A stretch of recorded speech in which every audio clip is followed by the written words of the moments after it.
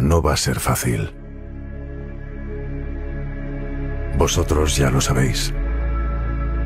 Estábamos en plena actuación y todo se ha apagado. No hay música, no hay luces. Silencio. No, no va a ser fácil. Pero ¿cuándo lo ha sido? Nunca ha sido fácil trabajar en la sombra, lejos de casa, lejos de la familia, trabajar bajo presión, cargar con todo el peso, ser la persona a la que todos miran cuando algo no va bien. No, nunca ha sido fácil. Pero solo vosotros tenéis ese poder. Un poder que aparece cuando trabajáis unidos. Solo vosotros podéis hacer que volvamos a reunirnos, a olvidarnos de todo, que volvamos a levantarnos. Solo vosotros podéis hacer que comience el espectáculo de nuevo. No va a ser fácil. No. Por eso el mundo necesitará personas extraordinarias. Por eso millones de personas os van a volver a necesitar. Ahora llega vuestro turno. Los aplausos volverán a ser para vosotros. Preparaos para hacer lo que siempre hemos hecho, pero esta vez para hacerlo como nunca.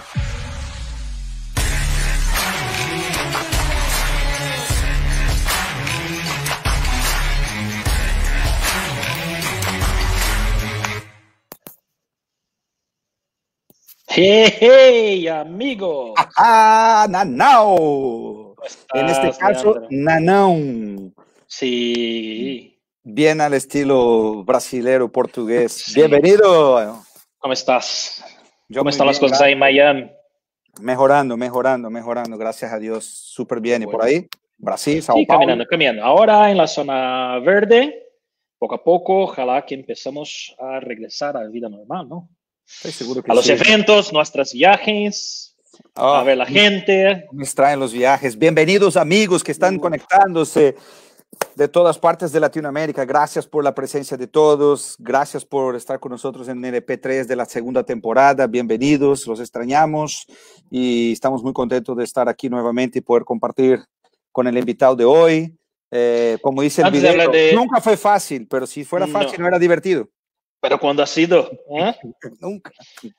Ya recordando que tenemos el playlist de Alma del show en Spotify, siempre con una canción de la abertura, que cambiamos toda, toda la, la LP, el episodio, y la música de cierre, que es una música del invitado. Entonces, solo buscar en, en Spotify el Alma del show y ahí va a comprar nuestro playlist. Claro, dar like, bajar tu playlist y vas siguiendo los upgrades. Hay música que pueden usar para probar sistemas, para recordar los, los invitados y saber también un poquito del gusto musical de cada uno. Amigos de Panamá, de Colombia, de Paraguay, de Perú, de México que están llegando. Gracias, gracias. De verdad, es un gusto enorme.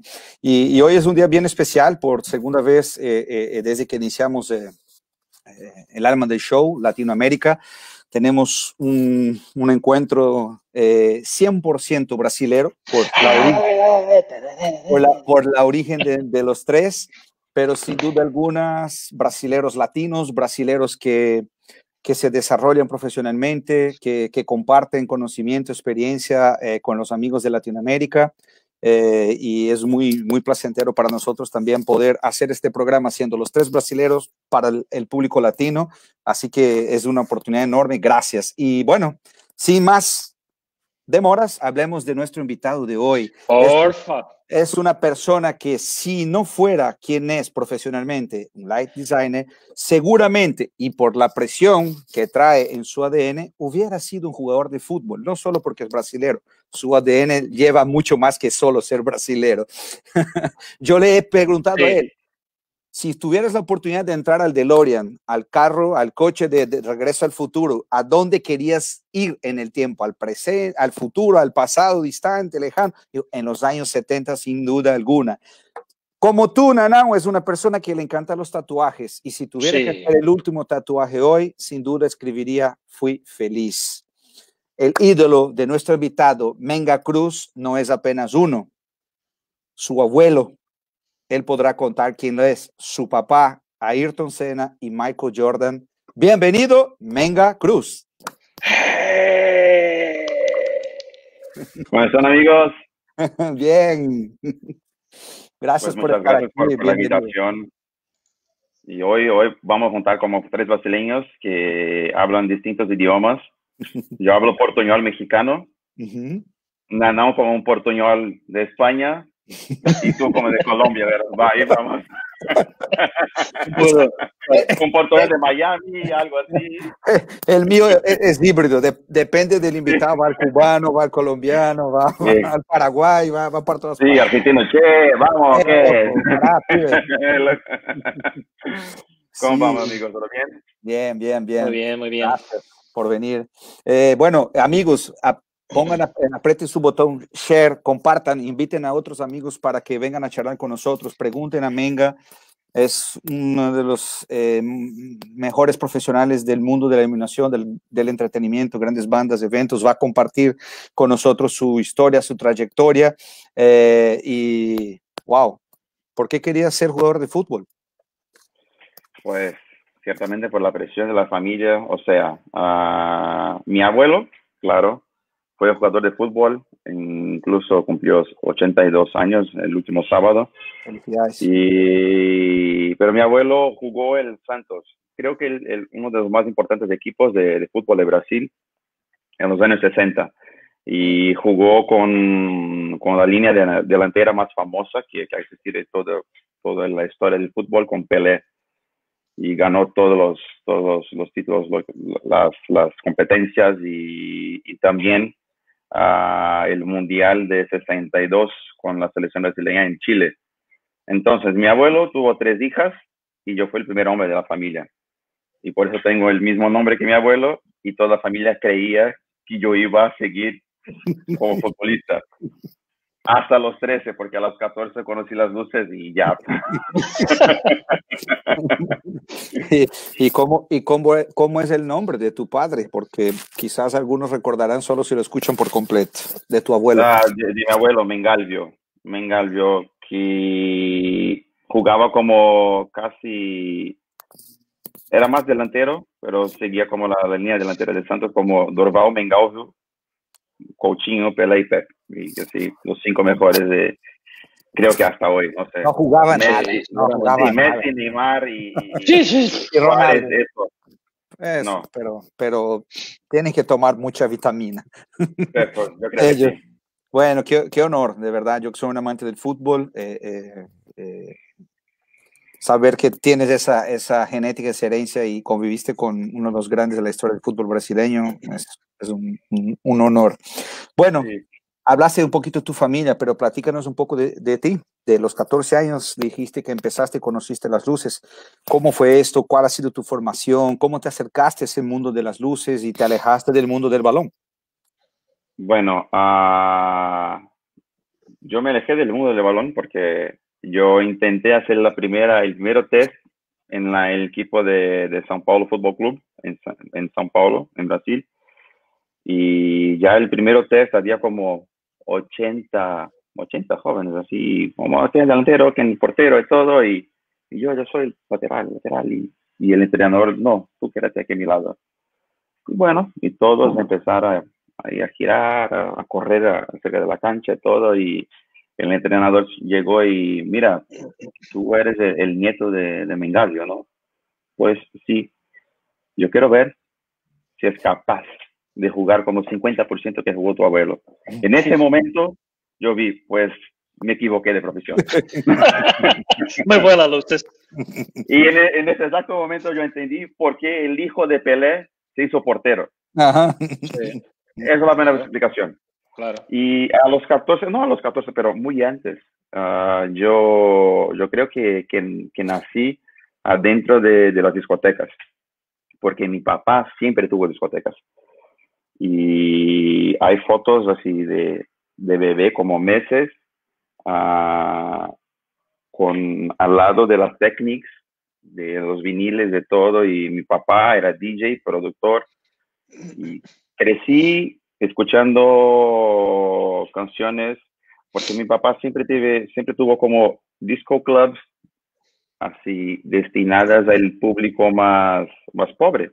O sea, tocaba black music como, como hubo grandes, grandes ah, discotecas en Brasil para destinadas a black music. Entonces yo, yo crecí escuchando Marvin Gaye, uh, Earth and Fire, Queen the Gang, todas esas cosas y que a mí me encantan. Entonces, primeramente, primeramente yo quería ser DJ. Aprendí, porque a mí me sonaba que ser DJ era la mejor profesión del mundo. Porque yo ayudaba a mi papá y muchas veces al final de la noche mi papá me entregaba el sobre con el sueldo de cada DJ. Y yo sabía cuánto ganaban y ganaban muy bien.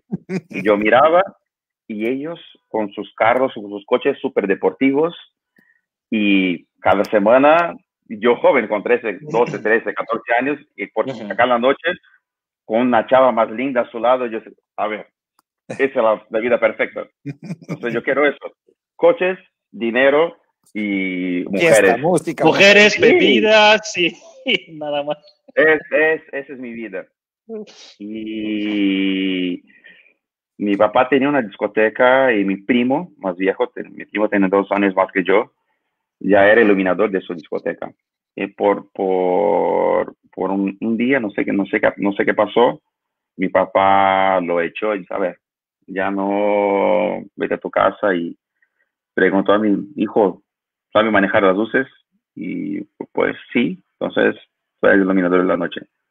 Así, no había móviles ni nada, moving lights, estas cosas no, nomás uh, aparatos de, de lámparas par 36, que todas las semanas Dios cortar los, los filtros de las gelatinas y poner, cambiar colores, y con varios botones de prende apaga para girar motores y así yo empecé. Entonces, empecé muy joven, pero el contacto con la cosa más profesional tardó, creo que en mi vida tardó mucho porque uh, como ha crecido en Santos, es una ciudad muy buena, bellísima, pero muy, muy lejos del profesionalismo que hay en São Paulo y todo el Brasil. Entonces hablábamos de compañías como LPL que existe hoy así. Había como eran dos mundos completamente separados. Y empecé despacito con, con, con tema de discotecas, tal que creo que eso sigue en mi ADN. A mí me encanta discotecas, me encanta hacer uh, shows de, de, DJs y pues así empecé con, con 14 años.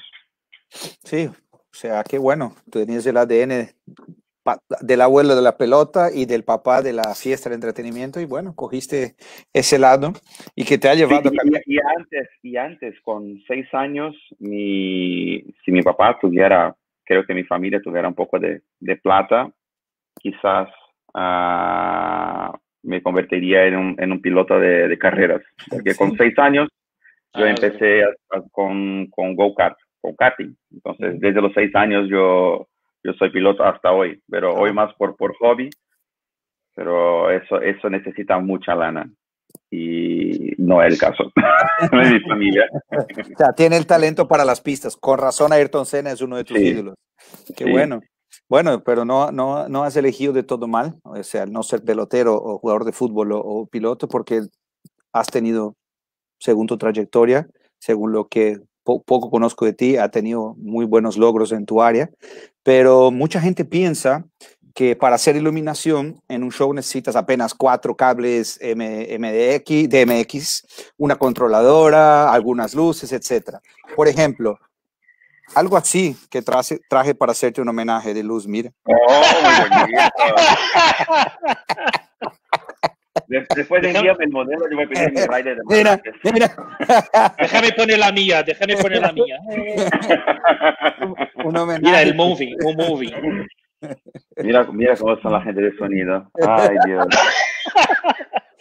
Bueno, ya puse colores, ya hay fiesta. No, e-, esa es ya está con fiesta. Tengo mi té.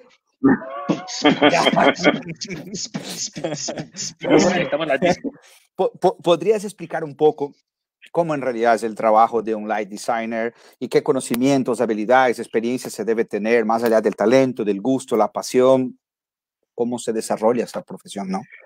Bueno, hay, hay diversas partes. Ah, yo creo que hoy en día mucha gente se considera light designer por, por trabajar con un, software, una aplicación en, eh, de 3D que nomás ponga un trus y varios aparatos ahí colgados y, y va a hacer un diseño. Pero a mí, a mí, a mí me suena que ser un light designer, un, diseñador de luces, uh, es mucho más tener una identidad visual y justamente entender el concepto, no el tuyo, mucho más de la banda, lo que la banda quiere representar o el impacto que la banda quiere uh, que su público sienta y también trabajar y conocer mucho más el equipo que está trabajando lo que el equipo que está de moda.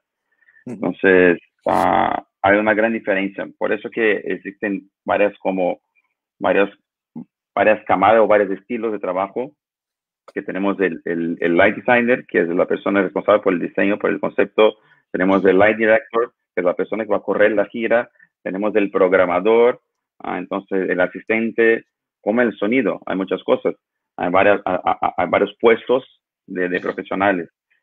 Y, y, hoy en día sí es mucho, mucho más complejo. No es, no es tan, tan, tan sencillo como, como, como dijiste tú que hace como 10 años atrás trabajamos con una, una Avolite con cuatro cables, cuatro universos y, no. Hoy, hoy en día es de casi imposible. ¿Cómo, cómo, cómo, cómo el sonido? Tenía un Snake de 24 días y, ya, hacía toda la banda. Ejemplo, hoy en, con, con Maná tenemos 40, no, 52 canales de pura batería. Eso, eso, eso, Ah, como a 10, 15 años atrás, ni una banda completa llevaba eso. Entonces, ha, evoluido mucho la, la, iluminación y el sonido, el video, y yo creo que, que también el, trabajo del de, de, diseñador es justamente conocer todas las partes, incluso el sonido. Uh, hay, hay, que saber de, de video, hay que saber de, de, automación de motores, de motores variables, movimentación de pantalla, y conocer muy bien los aparatos que va a pedir su rider. Y es, es mucho la responsabilidad va creciendo junto con, con, con la tecnología, creo. Okay. ¿Tocas algún instrumento? ¿Qué sueles escuchar? ¿Qué te, qué te gusta? ¿No? ¿Solo es el talento? No, no, toco consolas. Okay. es un buen talento. Pero nosotros como brasileños ah, estamos ahí en el semáforo esperando y con, cuando pone la, la ¿cómo, cómo, cómo se llama? El turn light de, de, de tocarte clac, clac, clac, clac. Y tú ya ves, Vas a hacer sí. Así es. Entonces, nosotros buscamos ritmo en todo, en todo. Sí. Sí. ¿Y cuál, cuál fue tu primera experiencia como eh, iluminador profesional? Eh, ¿Con quién comenzaste? ¿Cómo lo has vivido? ¿Tienes el recuerdo de esos primeros equipos? No el de la discoteca tu papá, del primer show, del primer evento más profesional. ¿Con quién fue? ¿Cuándo? ¿Cómo? ¿Qué usaste? Uh, yo creo que mi primer evento profesional como, como diseñador, iluminador, ocurrió en 2000 ya, ya tarde, como 2000. Uh, 19. Uh, 18, creo. No, en 2000, 2007, 2008 fue un, un, un, DVD de una banda, una banda de iglesia que yo conocí así. Estaba en una feria como Expo Music, como El Día, esas cosas. Y se acercó un chico, no, porque conozco a tal persona, tal, y, y, me llamó nomás a programar el servidor de video. Y yo pregunté, mira, ¿tienes diseñador de luces? Y no, pues yo diseño. Y, y así empecé. Fue primero, creo que mi primer trabajo, que ahí llevé, llevó mi nombre y traía como tres Avolites programadas porque traía muchos móviles. había una nomás, nomás para, para key lights, para luz blanca y otra para servidor. Y hoy en día podemos hacer todo en una sola consola. Pero creo que fue mi, primera, mi primer gran trabajo, el, el primer trabajo que llevó mi nombre en 2000, en 2000, 2008. Llámase Ángeles del Rescate. Ángeles del, Rescate. Ángeles del Rescate. De una, de una iglesia, sí. Bien. Y has hablado mucho de que lo que lo que te ha tocado vivir como experiencia siempre fue algo como que natural, empírico, por el entorno, etcétera. Pero en este camino hasta el 2008, ¿te has, has tomado a alguien como referencia? ¿Tiene algún tipo de mentor, de ídolo, de guía en este tema de la iluminación? ¿Tienes una referencia que sigues o realmente todo es, es nace de ti, de tu capacidad de aprender? No, yo creo que sí. Uh, siempre, siempre tenemos como, como ídolos también de vida como en, nuestra profesión. Sabemos que hay, hay gente que están súper uh, arriba de nosotros y que han logrado muchas cosas. Uh, como, como set designer siempre, siempre tuvo con Mark Fisher, que es el, el, gran set designer que, hizo como Rolling Stones por años y, y que todavía sigue su compañía corriendo haciendo las mejores cosas que llama Stuff, Stufffish Video. Ah, también latinos, gente que, que, me inspira y que hoy en día yo, yo creo que soy afortunado de, ser amigos de ellos, como Churi La Fuente, que está hace años con, Rick Martin, el, gran mago de Argentina que es ahora, es, eh, yo, yo logré hacerlo poner una camisa de la selección brasileña. El argentino poner una camisa de la selección brasileña. El Wadi Rodríguez, que trabajó años con, con Rick Martin, con Shakira y con la famosísima banda Soda Stereo. Entonces, uh, tengo mucha gente que, que, que, me inspira y también, claro, uh, como Nick Whitehouse de Estados Unidos, Beth Halpin, uh, hay mucha gente de, diferentes, de distintos estilos pero a mí me gusta cómo nosotros, latinos, interpretamos uh, la forma de ver y nuestra musicalidad. Mm. Yo creo que es una, una, cosita que tenemos ahí, un diferencial. Y hablando un poco de, este, de estos estilos distintos que, que, hay por ahí, de bandas y, cosas más, ¿hay alguna banda en vivo o en un evento que has visto y te has flipado, así que, tío, qué, qué brutal, sea trabajando o como espectador? Pues como espectador, sí. Uh, muchas bandas, pero una que, que, me llamó mucho la atención, además de hablando de, de, de la persona, del artista, uh -huh. es un gran artista, productor, Justin Timberlake, para mí uno de los mejores shows que he visto en mi vida, incluso quien, quien lo hace es Nick Whitehouse.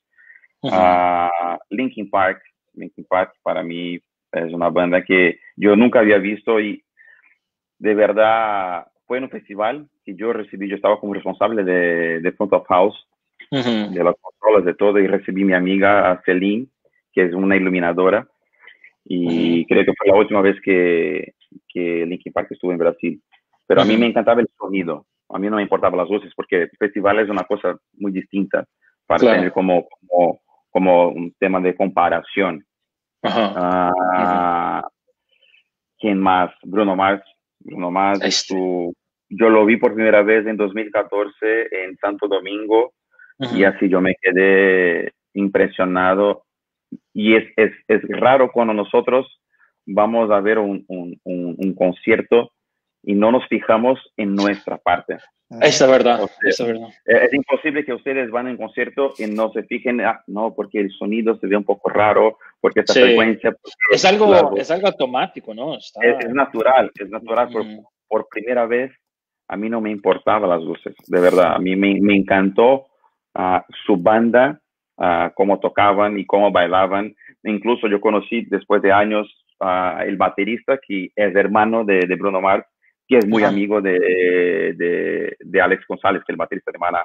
Entonces, todas las veces que estamos en Los Ángeles, ahí está en su camarino y saluda y todo. Y eh, no es un amigo que viene a tomar cerveza en mi casa, pero es un amigo que sabe mi nombre, mi, sí, mi saluda. Sí. Y, pero sí, son artistas que a mí me encantaron de ver. Y de hecho, de esta nueva generación, nueva entre comillas, porque no es tan, tan nueva, pero de esta generación, para mí que también el Bruno, Mar eh, el Bruno Marx y Justin Timberlake son los artistas más completos que hay en el mercado, ¿no? O sea, son tíos que cantan súper, que saben bailar, que saben, entienden mucho de sonido, de, de producción, de tal cual. ¿sabes? Es un, si no hay luces, si no hay sonido, aún sí hay, hay un show, ¿sabes? Sí, una, una persona también que yo vi, incluso hay un, un, un, documentario en Netflix que es de, de Beyoncé, que es una persona también. Ah, también. Incluso el iluminador de, de, Bruno Mars hoy, que es Whitney,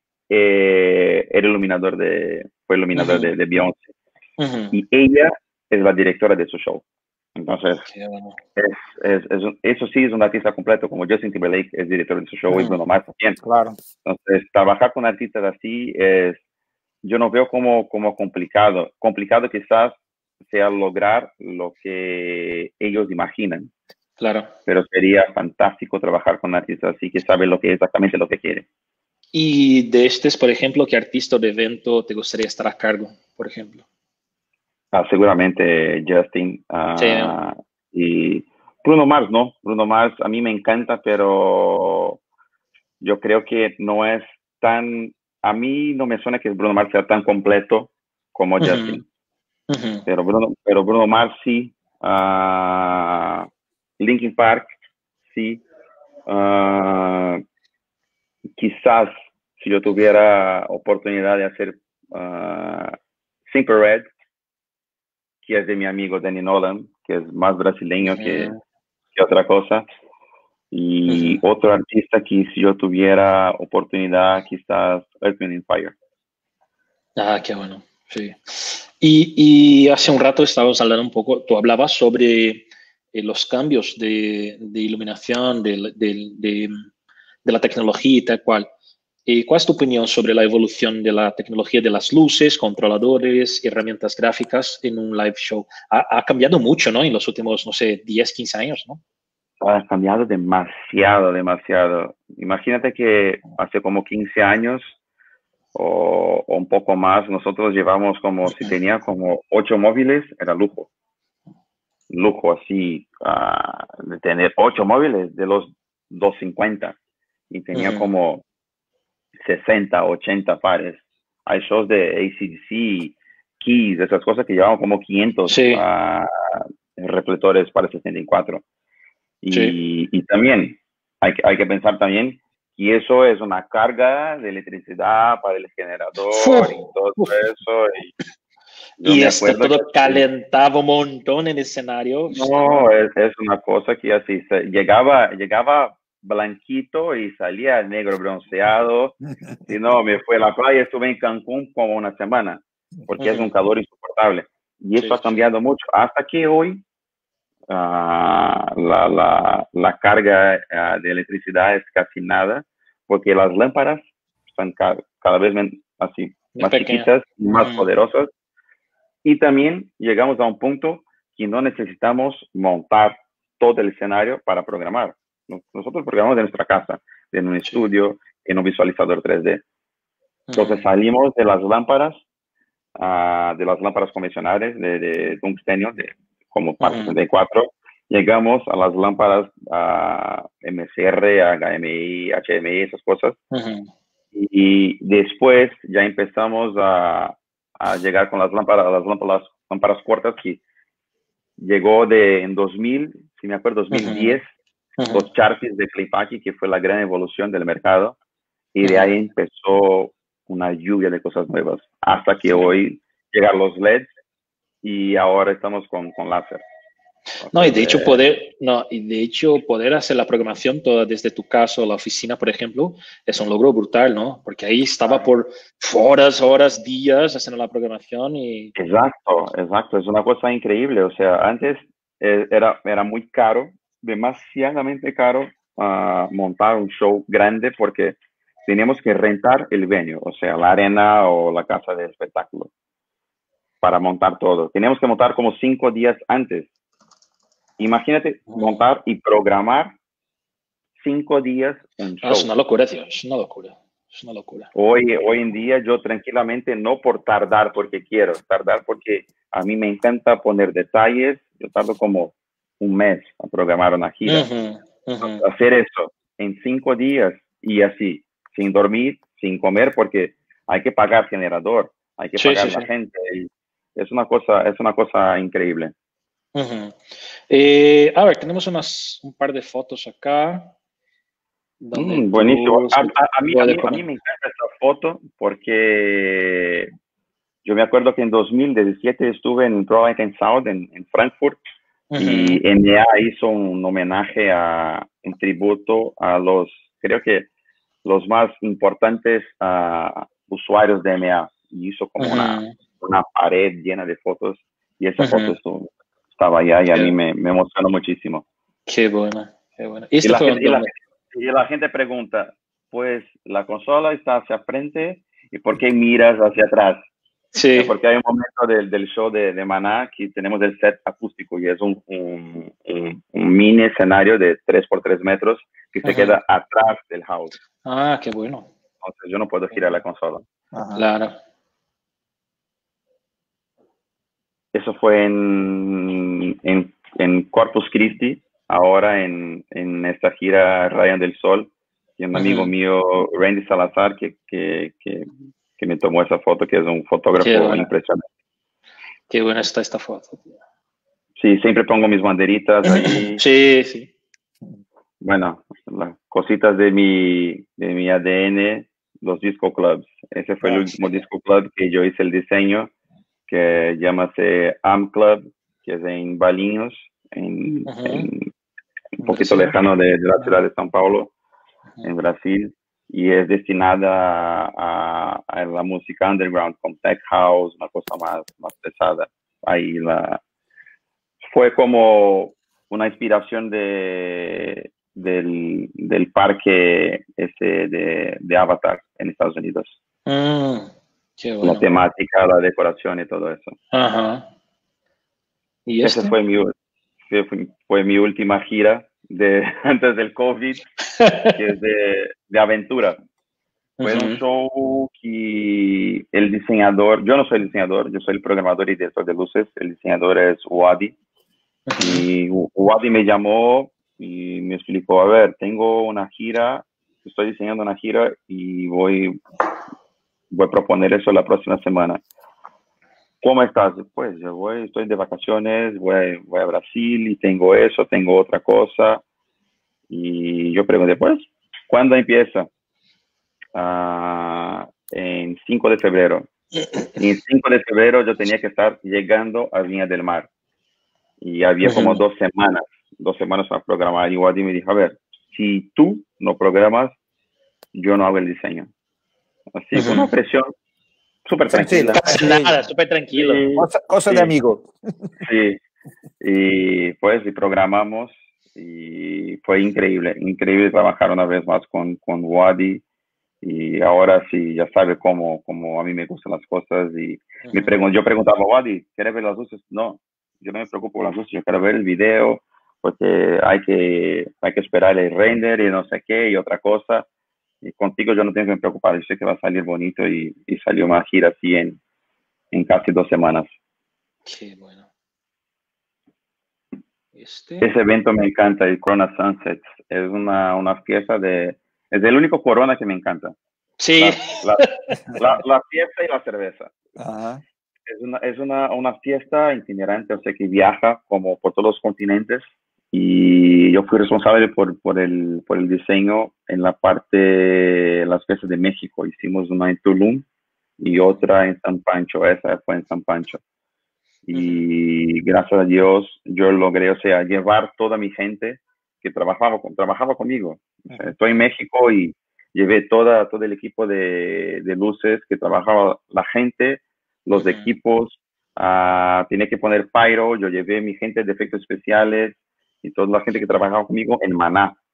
Y, uh -huh. y, yo creo que eso, eso sumó muchísimo al evento porque es como si estuviéramos haciendo nuestro show. Claro. Uh -huh. Y para, para nosotros fue mucho más fácil hacer así. Y se quedó uh -huh. increíble. Eso también la Rock.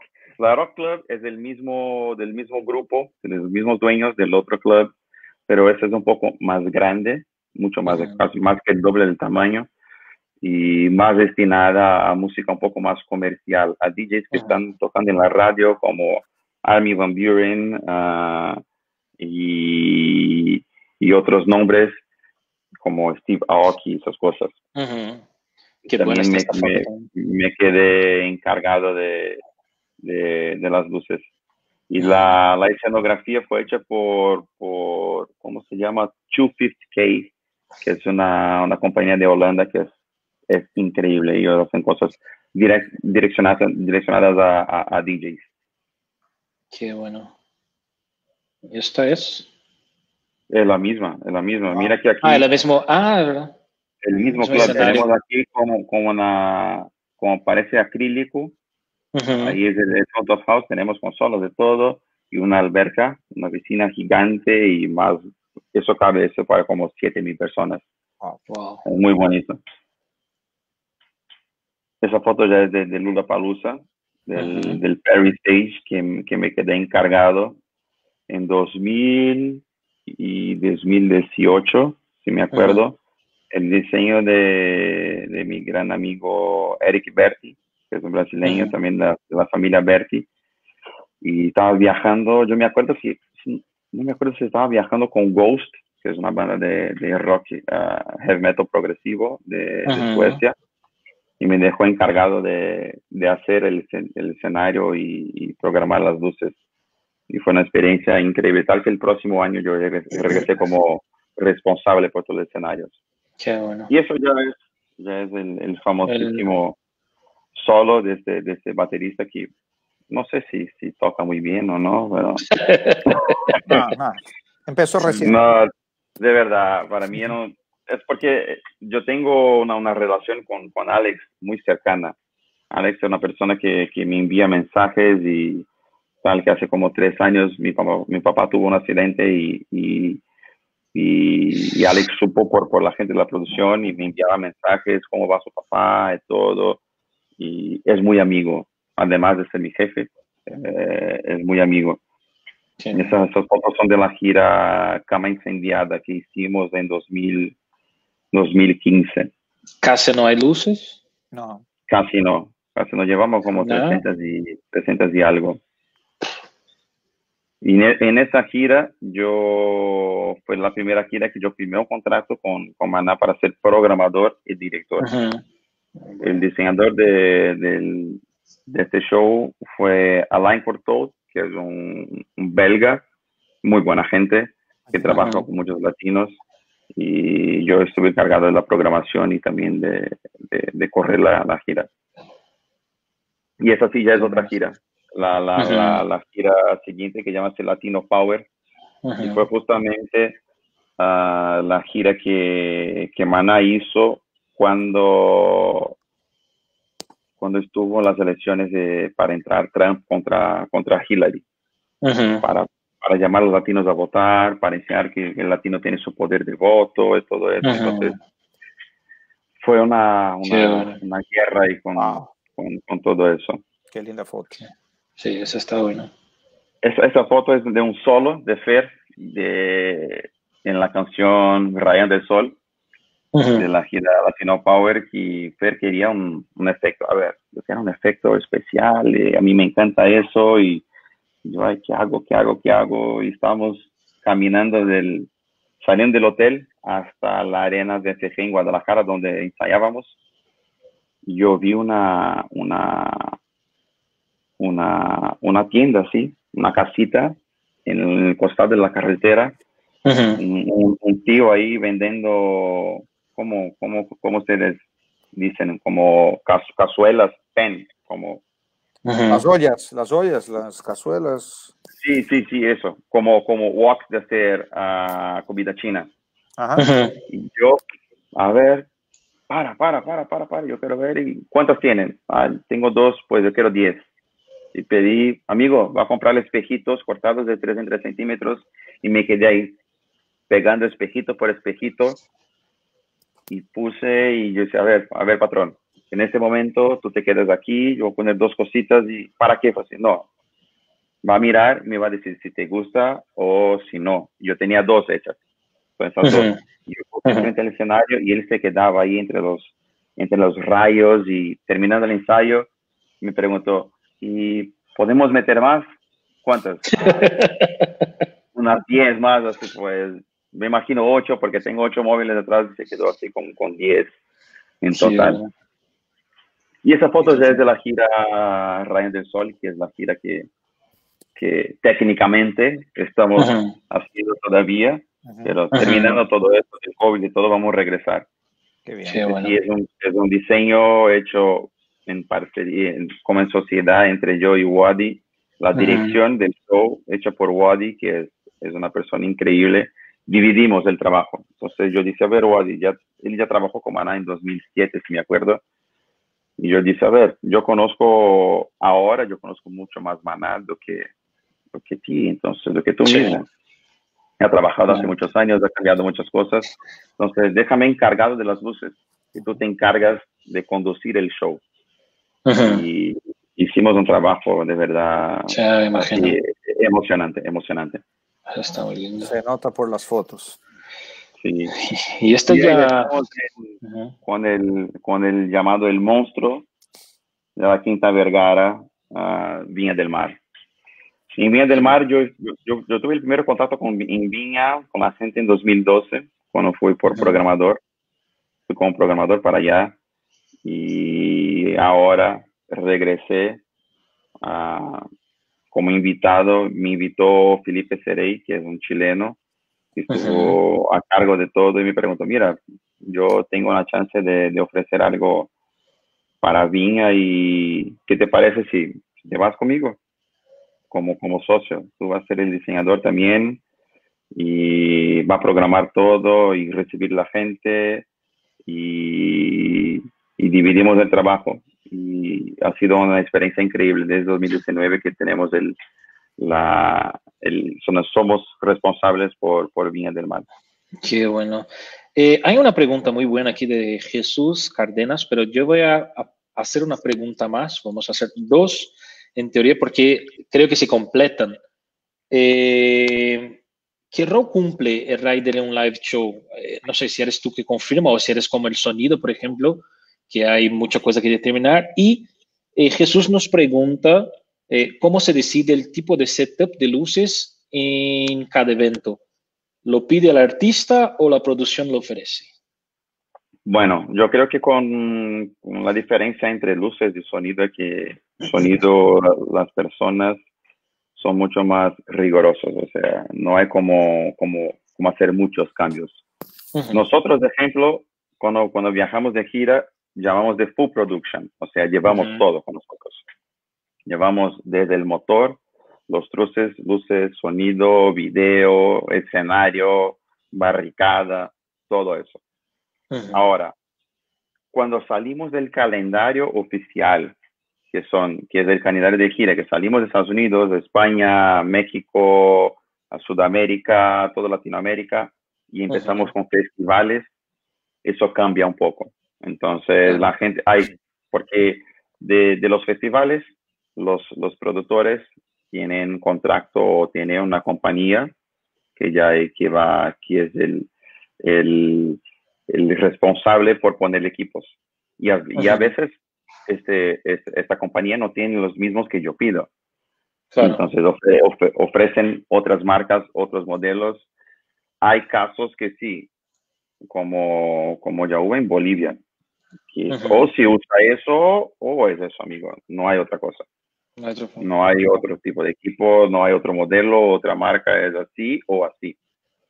Pero siempre yo intento siempre, uh, claro, pensando en mi trabajo, que, que, yo quiero siempre el mejor resultado a, a mi cliente, a mi banda, uh -huh, pero sí. también yo, yo pienso también en el lado de, de, de, de la persona que está contratando a nosotros y, y del, de la compañía que no tiene. Entonces, yo, yo no trato de complicar la vida de nadie, pero uh -huh. siempre, siempre pensando en mejor en mi parte, porque si yo dejo que, que cambien mucho, yo tengo que trabajar mucho más para cambiar el show. Claro. Y, yo, y, cuanto más cambio yo tengo, uh, me va bajando el nivel de, de resultado de, de, de, mi show, de, lograr uh -huh. lo, que, lo, lo, que yo imaginé cuando empecé a crear claro. este show.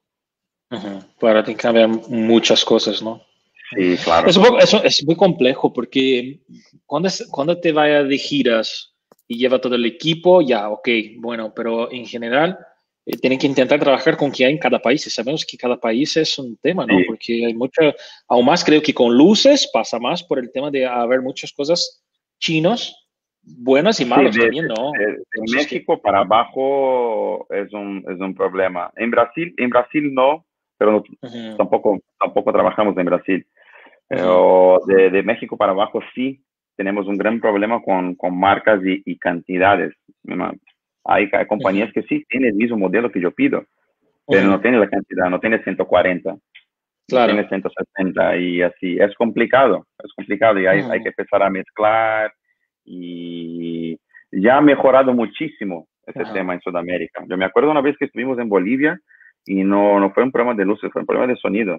La, gente, la gente de allá había confirmado los, eh, eh, la ¿El PEA y todo eso, el rider, y, y, nosotros fuimos como una semana antes y pues, y no está montando así, ¿no? Había como mitad de las bocinas ahí colgadas. Uf. Me acuerdo había como 14 por lado, había como 8 Wow. y las otras, no, van llegando, van llegando, van llegando, van llegando, ahorita, en, en un rato, mañana. Eh, Un día salimos a cotorrear ahí, fuimos a un bar y empezamos a tomar algo. Y a las 2, 3 de la mañana, pues, ¿qué te parece si vamos al estadio a ver? Y llegamos, estaban ahí los chicos cortando madera y montando las bocinas. Joder. Porque, porque no existían, no las Qué tenían. locura, qué locura. tío. Mm, Qué locura. ¿Qué va a decir? Estamos en, Ajá. estamos en un, en un lugar, en un sitio que no, nadie llega pronto, no es fácil trabajar. Claro. Y no hay mucho que hacer Y- tampoco. Sí, no, hay que trabajar con eso o, o no trabajas. Sí. Sí, y, pero y en general, ah, perdón. no, solo me imagino que para no, no generalizar fue una situación puntual con una compañía X que dijo tener y no, Sí, tu- sí. y no tuvo, Sí, ¿no? claro. Claro, para... Estamos diciendo hace, hace años, Ah. a las compañías de, yo creo de verdad, ah, en Latinoamérica, las compañías de audio han evoluido mucho más que luces. Porque una, una cosa que así, eh, yo me acuerdo que yo, yo escuché una vez de, de mi productor, me, dice, me, me dijo así, venga, si falla luces, no le importa hacer. Si Ajá. falla el video, no le importa hacer. Ahora, la única cosa que le importa, sí, en primer lugar, es el sonido. Claro. Y es verdad, o sea, Sí, sí, la sí. gente va a un show para escuchar su artista. Y después vienen luces y video y efectos. Entonces yo creo que la, la gente tuvo que, que así que, que invertir mucho para, para cumplir riders y, y también y hacer conciertos mejores, porque claro que hay distintas marcas, hay distintos modelos, pero eso de, de cortar madera y hacer las bocinas ahí en su, en su garaje ya no existe más. Claro, claro. ¿Y qué, y qué herramientas o equipos sueles viajar siempre con vos? Y que, que sí o sí tienen que ir con, con, con vos. Pues nosotros, nosotros llamamos a el set de festival. ¿Qué es set de festival? Llevamos backline, porque eso es imposible de, de- de llegar y pedir o que, o que, que tengan el mismo micrófonos.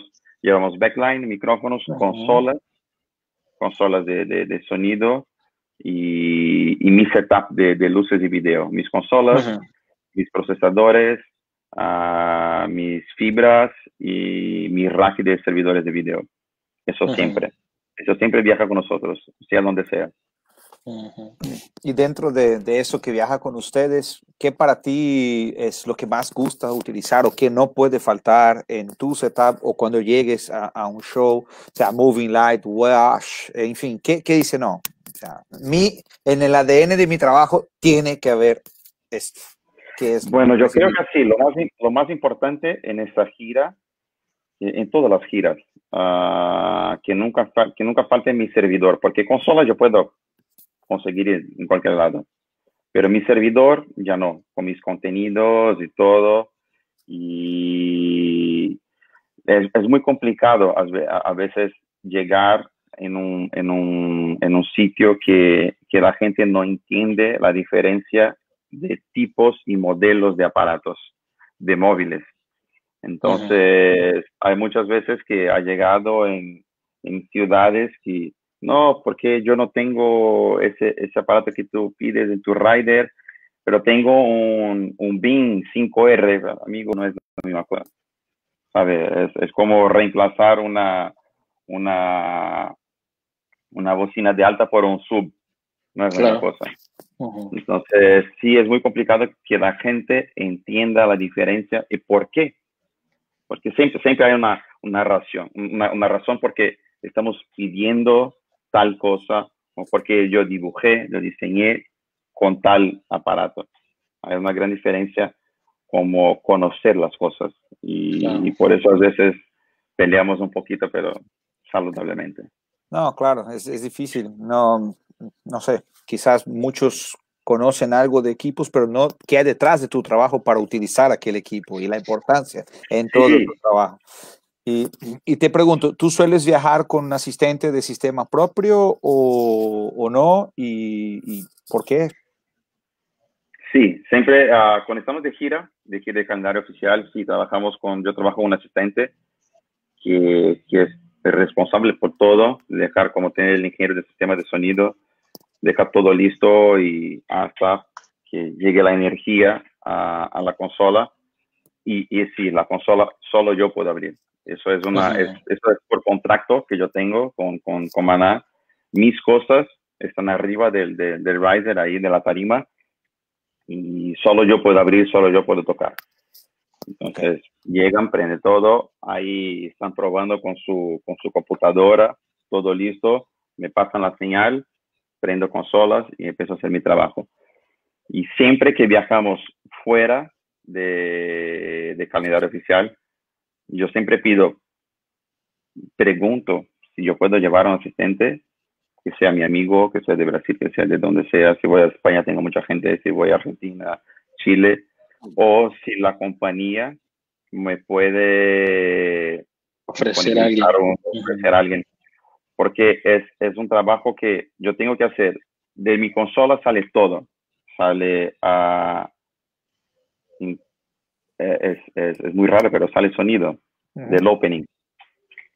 tengo, yo, yo, controlo luces, yo controlo uh, los, los seguidores, yo controlo video, yo controlo automación, que son los motores, pantallas, las pantallas se movimentan. Yo tengo, yo tengo unas, unas telas de proyección que suben, bajan. Entonces, es, es, un, y cámaras.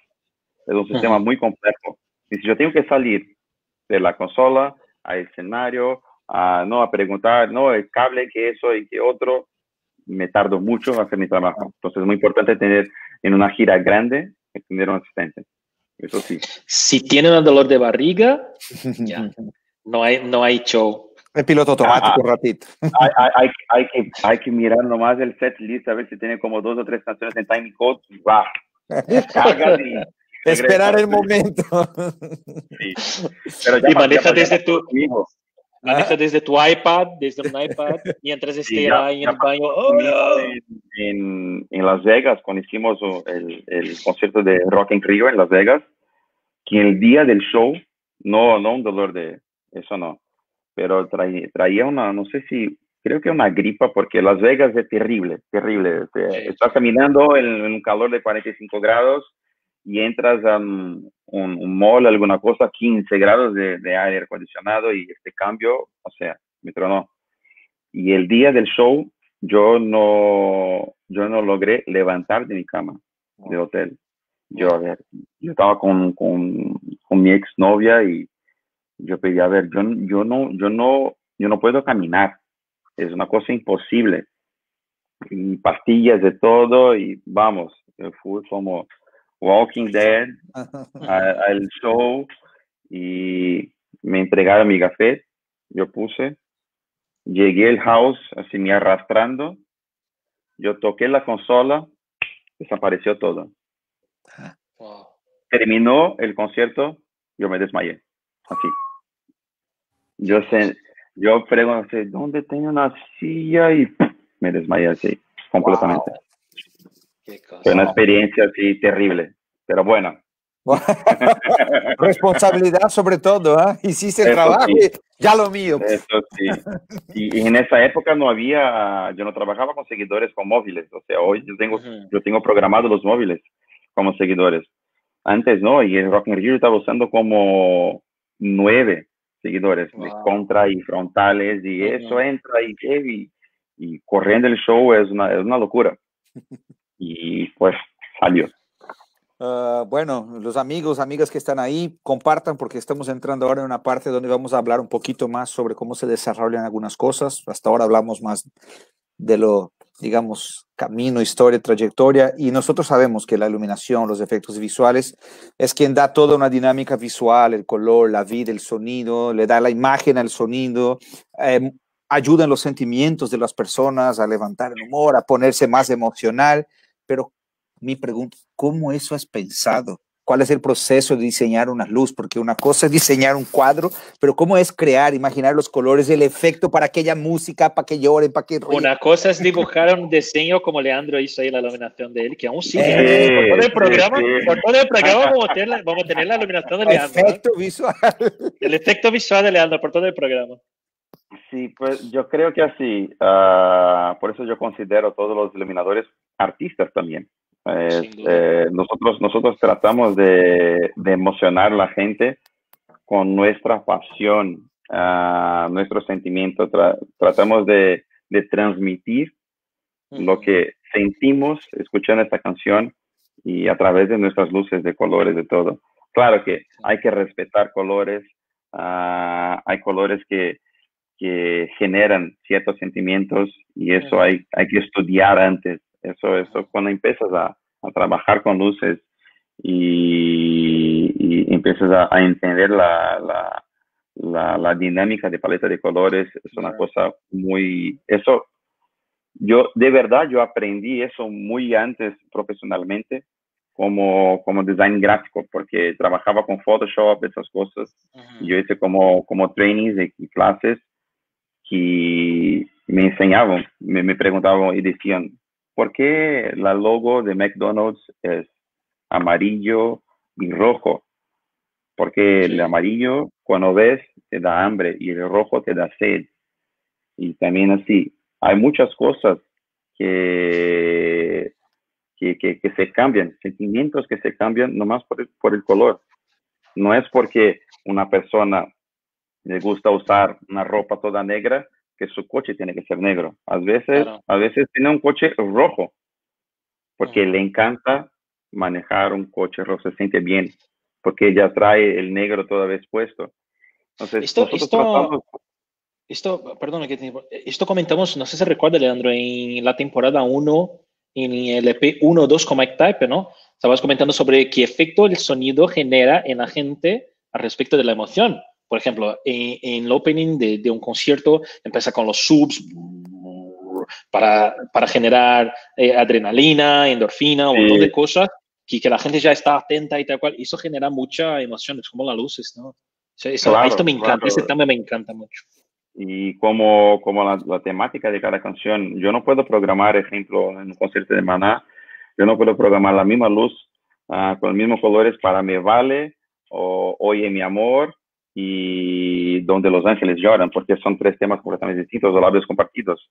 Y uh -huh. hay, hay que, que, siempre buscar cómo tratar de, de, de, emocionar. Yo tengo así como, yo siempre, maná para mí como me suena automático, entonces uh -huh. yo sé, yo del primer acorde de, de, de, guitarra o cualquier cosa, yo sé cuál canción va a tocar. Entonces, mi proceso de, creación justamente es escuchar, porque siempre cambian algo, hacen versiones distintas, como Oye mi amor hoy en día, tiene como un, un reggae ahí en medio y siempre voy escribiendo, siempre, siempre, uh -huh. siempre pienso así, uh, pues ese momento, yo, un efecto de color, así, así, así, así. Pero como hoy en día uh, tenemos la atmósfera de, del show, no es solamente luces, tenemos video y un par de cosas también me gusta saber qué colores están usando y, y qué van a usar de, de, de, contenido, qué efectos de cámara. Entonces yo intento uh, agregar todo eso que -huh. se ve de una forma completa porque es, es muy, a, a, mí me suena muy, muy raro cuando yo voy a un show y yo veo que las luces están en un tono, en un color y la pantalla en otra y que no tiene nada. No, si no, sí, la música lenta. Sí, eh, exacto, entonces a mí, a mí tiene que ser como un paquete completo. Sonido, luces, video, eso es que el público sí está esperando. Y la inspiración, de verdad, eh, eh, eh, no sé, es como, ¿cómo puedo explicar?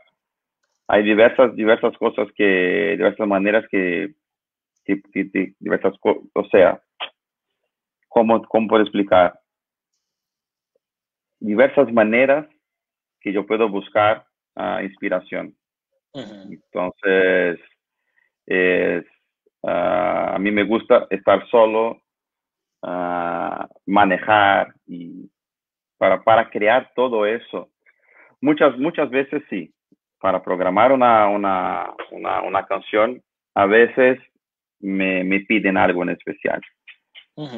Pero la gran mayoría de las veces no, no me dejan como ahí uh, tranquilo con mi creatividad y con lo que yo pienso, uh, lo que sería bueno meter y siempre preguntan si tengo sugerencias y es así. Y claro, siempre de, de la primera idea.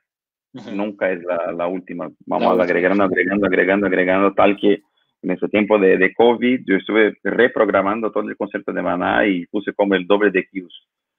Porque sí, por eso, con, con... Por eso hay muchos ensayos, porque la gente en general no sabes cómo es el, el universo por detrás de las cámaras, ¿no? O sea, no, la gente va, no. ve un concierto, allá, ya, este es súper sencillo, tal cual, pero la gente no sabe el trabajo que tiene por detrás. Son meses, es meses en ensayos, haciendo pruebas, pruebas, pruebas, cheque, vamos, eso no va, tal, tal, tal, para que el, el, el, la gente tenga el espectáculo, ¿no? Lo que, Sí, lo, lo que ha pagado, lo que ha pagado. Ensayamos el montaje y el desmontaje, load in, load out.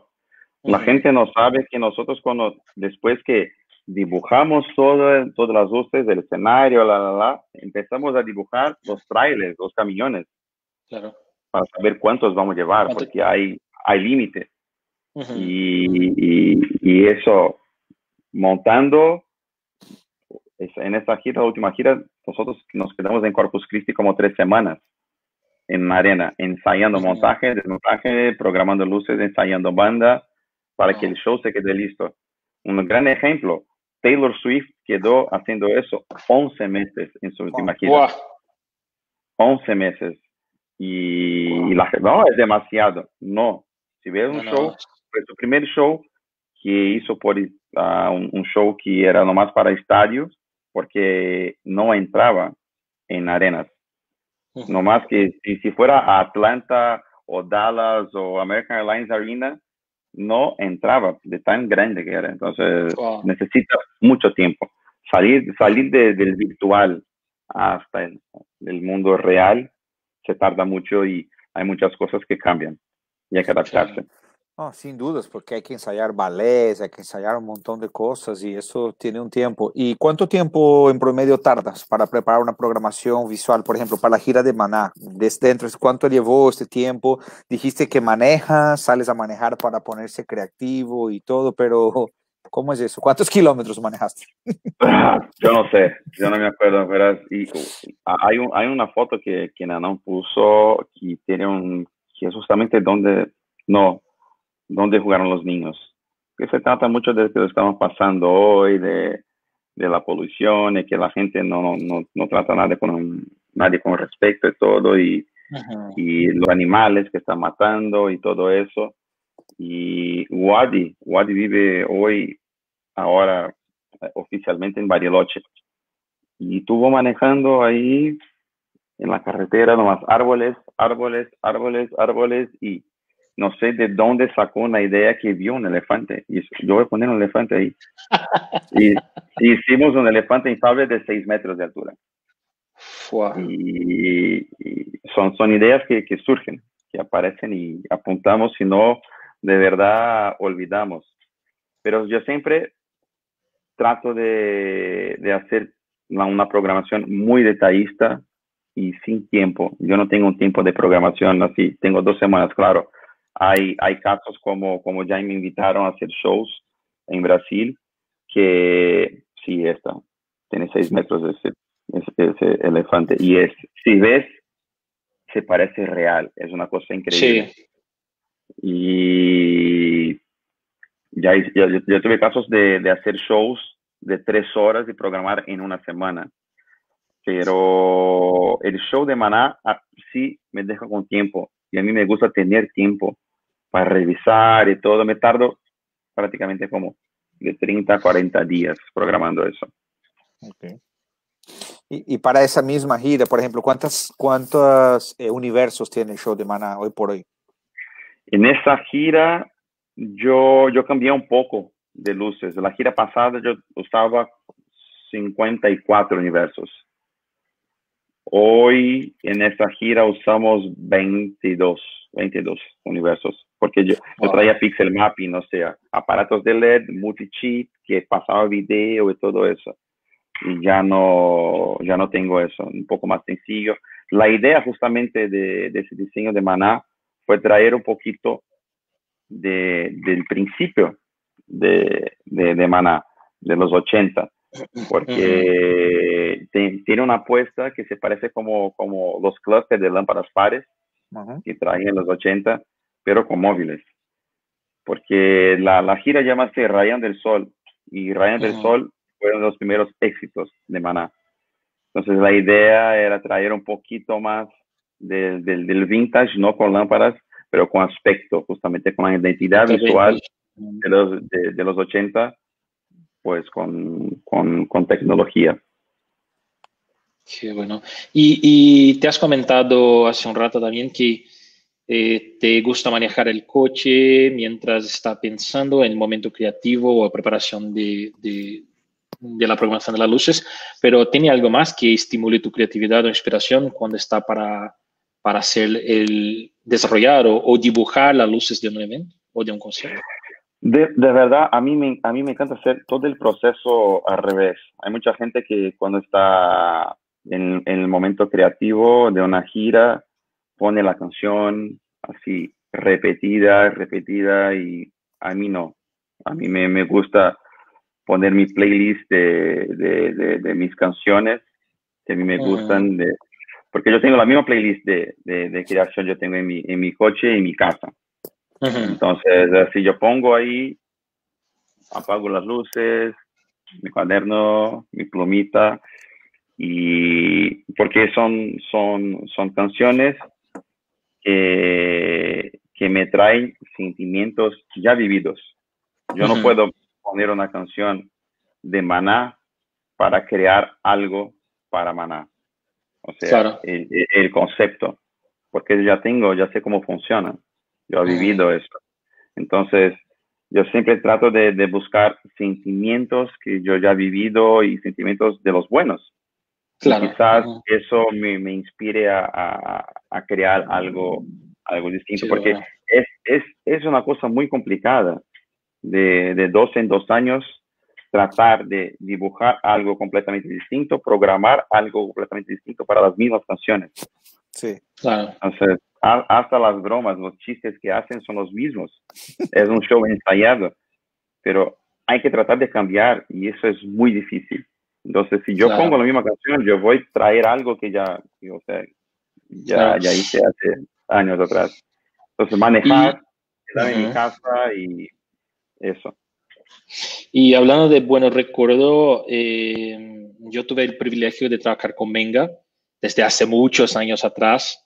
Y yo tengo acá una, una foto muy buena Mira de las eso. antiguas, donde está Menga, yo y una feria, no sé qué, qué, qué año, Uf. pero muy jóvenes los, los, los dos. y, y 15, 15, kilos más delgado. Sí, y trabajábamos en una oficina en, en, en Brasil donde eh, comprábamos chocolate, Jack Daniels y quedábamos borrachos en la oficina hablando con la gente. La gente está un poco, hostia, tío, ¿qué tienes estos dos que están ahí borrachos y solo comiendo chocolate? Trabajando, sí, trabajando entre comillas, pero solo comiendo chocolates de Jack Daniels y ¡ay! borracho en la oficina. Sí, yo tengo muy buenos recuerdos. Esta foto me encanta que es una foto antigua, no sé de qué año es esto, pero uf, quizás, quizás 2011, 2012, algo así. Sí, por, por ahí. Sí, por ahí. empezamos a trabajar juntos en 2010. No, no, sí. si, si, te veo en la calle así, no sé quién eres. Sí, seguro que no. Yo, yo tampoco. Corba, corbata, Flaquito, sin barba. Si, si lo diciendo que ves soy barba, gordo? no, no hay como reconocer. Y si No. lo ves con barba, cruza la calle porque piensa que es un talibán. Sí. Dímelo a mí que tengo que viajar con él muy seguido en los aeropuertos, tengo que esperarlo. que está en el mucho. Siempre comento, Leandro, espera, ya, ya regreso, ya regreso. Voy en la sala de los aeropuertos. Ya, Primero ya porque- pregunto, ya, ya, ya pregunto siempre, mira, ¿dónde es la sala? ¿Qué sala? Va a ver. Si ahora puede acompañarme, ya, yo, yo pregunto. Sí, voy, voy, voy, voy. Estoy acostumbrado. Ya, ya viaja con, to- con sus micrófonos, interfaz y todo. Sí, sí, eso es una pesadilla. Siempre lo paran. Esa es una Sí, yo pesadilla. también, con mis computadoras y como una bolsa llena de, de, de USB, de pendrive. Y, ¿Y cómo explicar eso a la gente? Porque a la gente de seguridad del aeropuerto, ahí hablan amigo, estos son micrófonos, son interfaces de sonidos, ah, pero te viaja con muchos electrónicos. Y, no sé, y esto es, pero es mi trabajo, yo tengo que trabajar. No, déjame ver, y quiere ver cosa por cosa en mi maleta. Es una pesadilla, es una pesadilla. Con la Por cara eso, de árabe todavía, bueno, Nosotros ah, tenemos el, el, grande, el grande chiste que siempre aplicamos el manazo. Mm. el que es maná. cuando, cuando intentamos explicar toda la situación y ves que no va a lograr que la gente entienda, dice, es que trabajo con Maná. Ah, con, con la, la banda. Sí, pues, qué chido. ¿Y dónde van? Y Ya, ya cambió toda la historia. Ya, y eso aplicamos en aeropuertos, en hoteles, en todo, en todos los lados. Bares, en todo. Qué bueno, qué bueno. ¿Y, y, qué haces para mantenerse actualizado eh, con el tema de, la, de las luces y seguir evolucionando profesionalmente? Yo sé porque el sonido ya tenemos, no sé, no, no parado todavía, pero la- en términos de tecnología ahí va un poco más despacio al respecto de, de las luces y, y el video, ¿no? Entonces que yo, creo que estén ahí todo el rato. sonido, el sonido, en términos de todo el paquete del sonido, el universo del sonido, lo que sigue actualizando son consolas, algo así. Claro, Y- o tecnologías que están dentro del, de, de un sistema de la RAI, tal cual. Pero en tu caso, no, cambia todo, ¿no? Muy rápido. Sí, cambia todo, cambia todo. Ahora estoy tratando de sacar una licencia para utilizar un móvil nuevo que es de, de láser. Es un móvil normal, que sale la luz como un móvil normal, pero es láser. Y consolas. Yo estoy tratando, en, en este, en, este, en este tiempo de, de pandemia, yo estuve estudiando un poco más mis diseños, a otras plataformas de, de, de trabajo, softwares. Y hubo un caso también, ahora estoy, estoy en Santos, pero vivo en, en cerca de Los Ángeles y la gente de Very Light me envió los móviles nuevos. O sea, yo creo que es muy importante ah, conocer las máquinas que va a usar. Y por eso que a veces me pregunto, oye, ¿por qué tú siempre pides tal marca y tal modelo? Porque yo los conozco, yo los conozco al 100. ¿Y por qué no pide tal? Porque yo no tuve tiempo de conocerlas y hacer una comparación. Entonces yo no puedo arriesgar mi show de que sea de aventura o de maná, de Viña del Mar, a poner un aparato que me están pidiendo o sugiriendo si yo no conozco. Claro, no puede Entonces- meter en riesgo el, el, el show, Claro, ¿no? la obra. Sí, el, el resultado final. Entonces, yo lo, que- lo que yo pedí justamente me preguntaron, "Oye, ¿conoces? No, ¿te puede enviar para que los pruebe y nos dé un feedback? Pues claro, me enviaron como Ujú. cuatro móviles y me quedé ahí un mes. Todos los Ujú. días iba, hacía un test, de eso, un test así, de comparación de lo que yo uso. Y apuntaba cosas, apuntaba cosas, apuntaba cosas y envié al ingeniero. Entonces, yo creo que es, es la- es la parte más importante. No Claro. pedir lo que está de moda y es muy importante que conozca exactamente lo que Ujú. está pidiendo. Yo ya, ya, ya tuve casos que había gente que pedía en su rider una MA y no sabía manejar una MA. ¿Por Ajá. qué? Porque todos pedían MA. Ajá. Y eso, la, la, la evolución sí, hay que acompañar, hay que estudiar. Eso es, es muy importante. Eso, Siempre. Control, control C, control V, ¿no? Copiar redes. Eh, Copiar, copiar, sí, sí, copiar. sí, esa, e- e- esa es la cosa. ¿Por qué no? Porque yo vi un concierto de tal gente. Ahí esto lo utilizan y yo quiero utilizar Sí, ya, pero tampoco eh, sabgo. Exactamente, como ya vi, ya vi, ya vi gente pidiendo en su rider unos móviles que llaman Bad Boy. Ujú. Y- pero Bad Boy son hechos por PRG. y solo PRG lo tienen. Y si tú no lo haces con PRG, no va a tener. ¿Por qué lo pides? Claro. ¿Sabes? Son, cosas, son cosas así.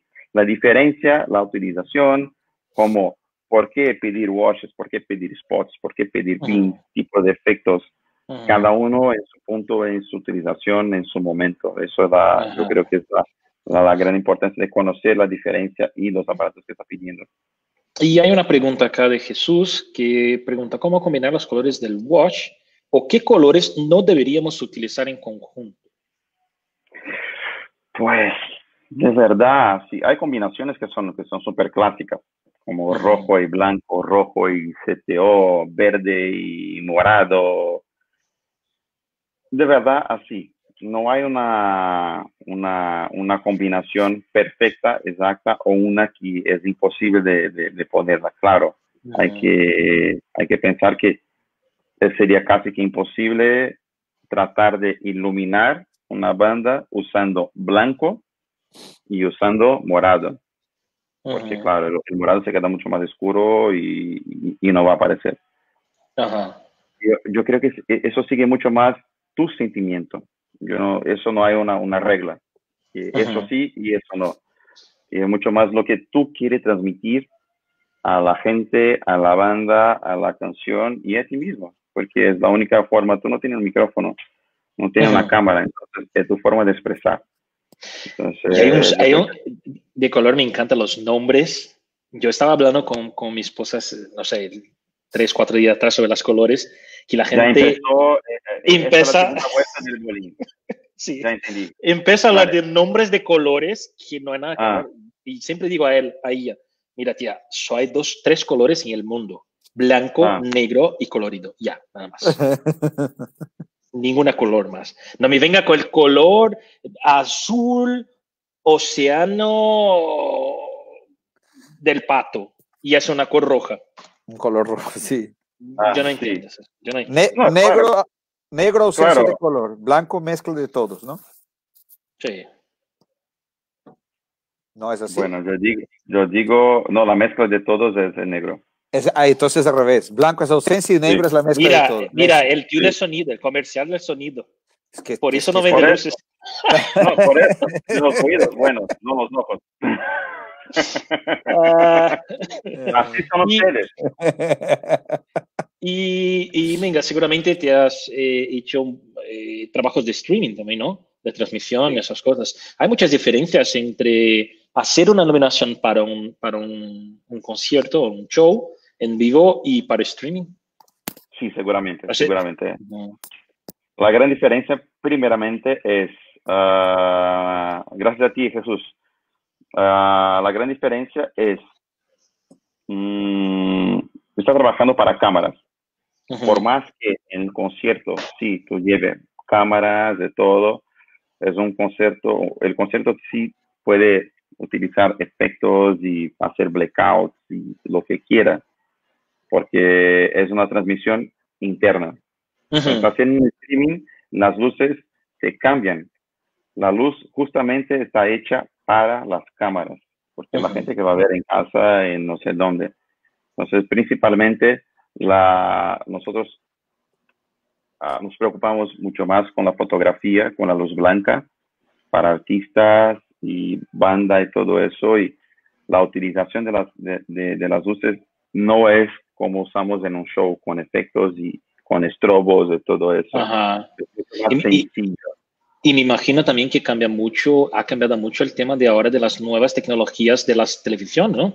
Que ahora son, te puedes ver, no sé, de la transmisión en 4K, ah, cosas, te ve mucho más bonito, ¿no? Las colores incluso. Y, ese es un gran problema. Se ve mucho más bonito cuando está bonito. Claro. Claro, que también se ve feo. Es el tema de... de, hablamos sobre... Claro, eh, eso hablamos mucho con, no sé, el, EP5 creo, o, o, 6, sobre los filtros Field. Incluso ahora en la temporada 2 también con Javier, sobre los efectos, porque se ve la caja mucho más, se ve el sonido mucho más lindo, pero cuando esté lindo, si, eh, como el dicho, ¿quién, ¿quién, había hablado un dicho, Leandro? Que el otro día. no, no, me recuerdo quién fue, que el Oscar, ¿te recuerdas cómo, cómo, era? El de... Esto suena mierda, pero si toca mierda, suena mierda. Ah, eso es. Si, si toca mierda, suena mierda. y, es la pura verdad, ¿no? Porque te va a parecer mucho más claro, porque tiene mucho más definición. Y imagino que, con luces con, con, estas tecnologías nuevas de tele, esas cosas todas, es igual, ¿no? Mucho más complejo. Tele y, tú sabes, tú conoces mucho más de cámara que yo, porque tienes tu, tu, productora de, de, cosas y eso se ve mucho, mucho mejor con está bueno. Y hay que tener mucho cuidado. Por eso que siempre peleo con la gente que me ponga un monitor real, Full HD, todo eso. No, no me venga con un monitor Dell o lo que sea, Samsung. No, eso yo, yo, no, yo no voy a hacer un documento de Word. Yo no voy a no, no, yo no voy a abrir mi Safari y buscar videos. No, yo quiero el real la transmisión y eso cambia mucho. Tener un feedback, lo que está, lo que la gente va a ver. Esta claro que a veces hay un post-production y todo, pero sí es, es muy importante que la gente se preocupe con las cámaras en streaming, porque hacer luces para visual, eso, eso es, es otra cosa, eso es show, eso tú te encargas de hacer en el show. En, la, en el streaming sí pues, eh, hay que preocuparse con la fotografía, con la luz blanca, lo que, vale, lo que va a leer la cámara y no tus ojos. Y, y, en stream eh, las luces y el vídeo, no sé, eh, para mí son los más importantes porque en general, si estamos hablando del streaming en la era COVID, no hay, no hay gente, no hay público. Entonces la banda también baja el, el nivel de, de, adrenalina y lo cual. Entonces sí, tiene que tener mucho, mucho, eh, no sé, las luces y el vídeo tienen un papel fundamental los streamers, ¿no? Porque cuando no hay público, cuando no hay público. Más elementos escenográficos. Claro, para aquí los músicos también se, se animan a tocar, ¿no? Sí. Nosotros, nosotros tenemos otros casos en Brasil porque hay, hay gente que hace live streaming y ahí se quedan borrachos y ahí no necesitan de público. Y ahí, es una porquería. no hay problema. Pero sí, es muy distinto, es muy distinto hacer, uh, tratar de transmitir una energía para la cámara sin nadie, uh más técnicos, con máscaras, tapabocas y eh, eh, es súper complicado. Y, y, para nosotros también, porque nosotros uh, estamos esperando la emoción de la gente y, y, no hay nadie.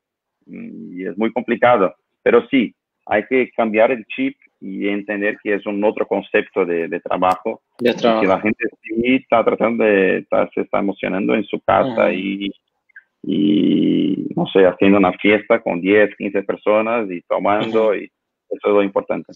¿Y para ti cuáles son los desafíos de coordinar una gira de un artista y de un festival? Hay muchas diferencias, de hecho, pero eh, ¿cómo es, no sé, si hay uno que es más complejo, que seguramente creo que el festival es un poco más complejo, de coordinar, porque, no, sé, involucra mucho más gente.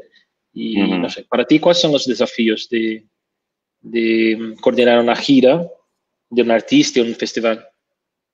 ¿Qué crees que es, no? Ah, ¿De coordinar un festival o de hacer el mismo show en un festival? Eh, igual. Sí, sí, sí. No, hacer el mismo sol. Coordinar un festival es, es, de verdad, es bien complicado. Yo hice eso el año pasado en, en Palusa Uh, yo estuve como, como responsable de los tres escenarios uh, de todas las bandas. Estaba responsable por las luces extras. Son los paquetes extras de cada escenario, de cada banda. Y eso fue una locura, eso una locura, porque había montaje, se terminaba y el paquete ya estaba montado en, en el backstage y entraba y desmontaba y subía y bajaba eso es una locura, pero funciona.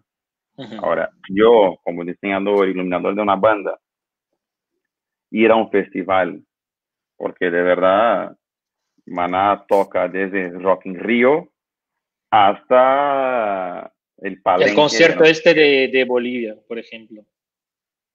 Es súper complicado. Y como iluminador, yo puedo decir de todo mi corazón no a, los, a la gente que, que, que los produce, que está trabajando.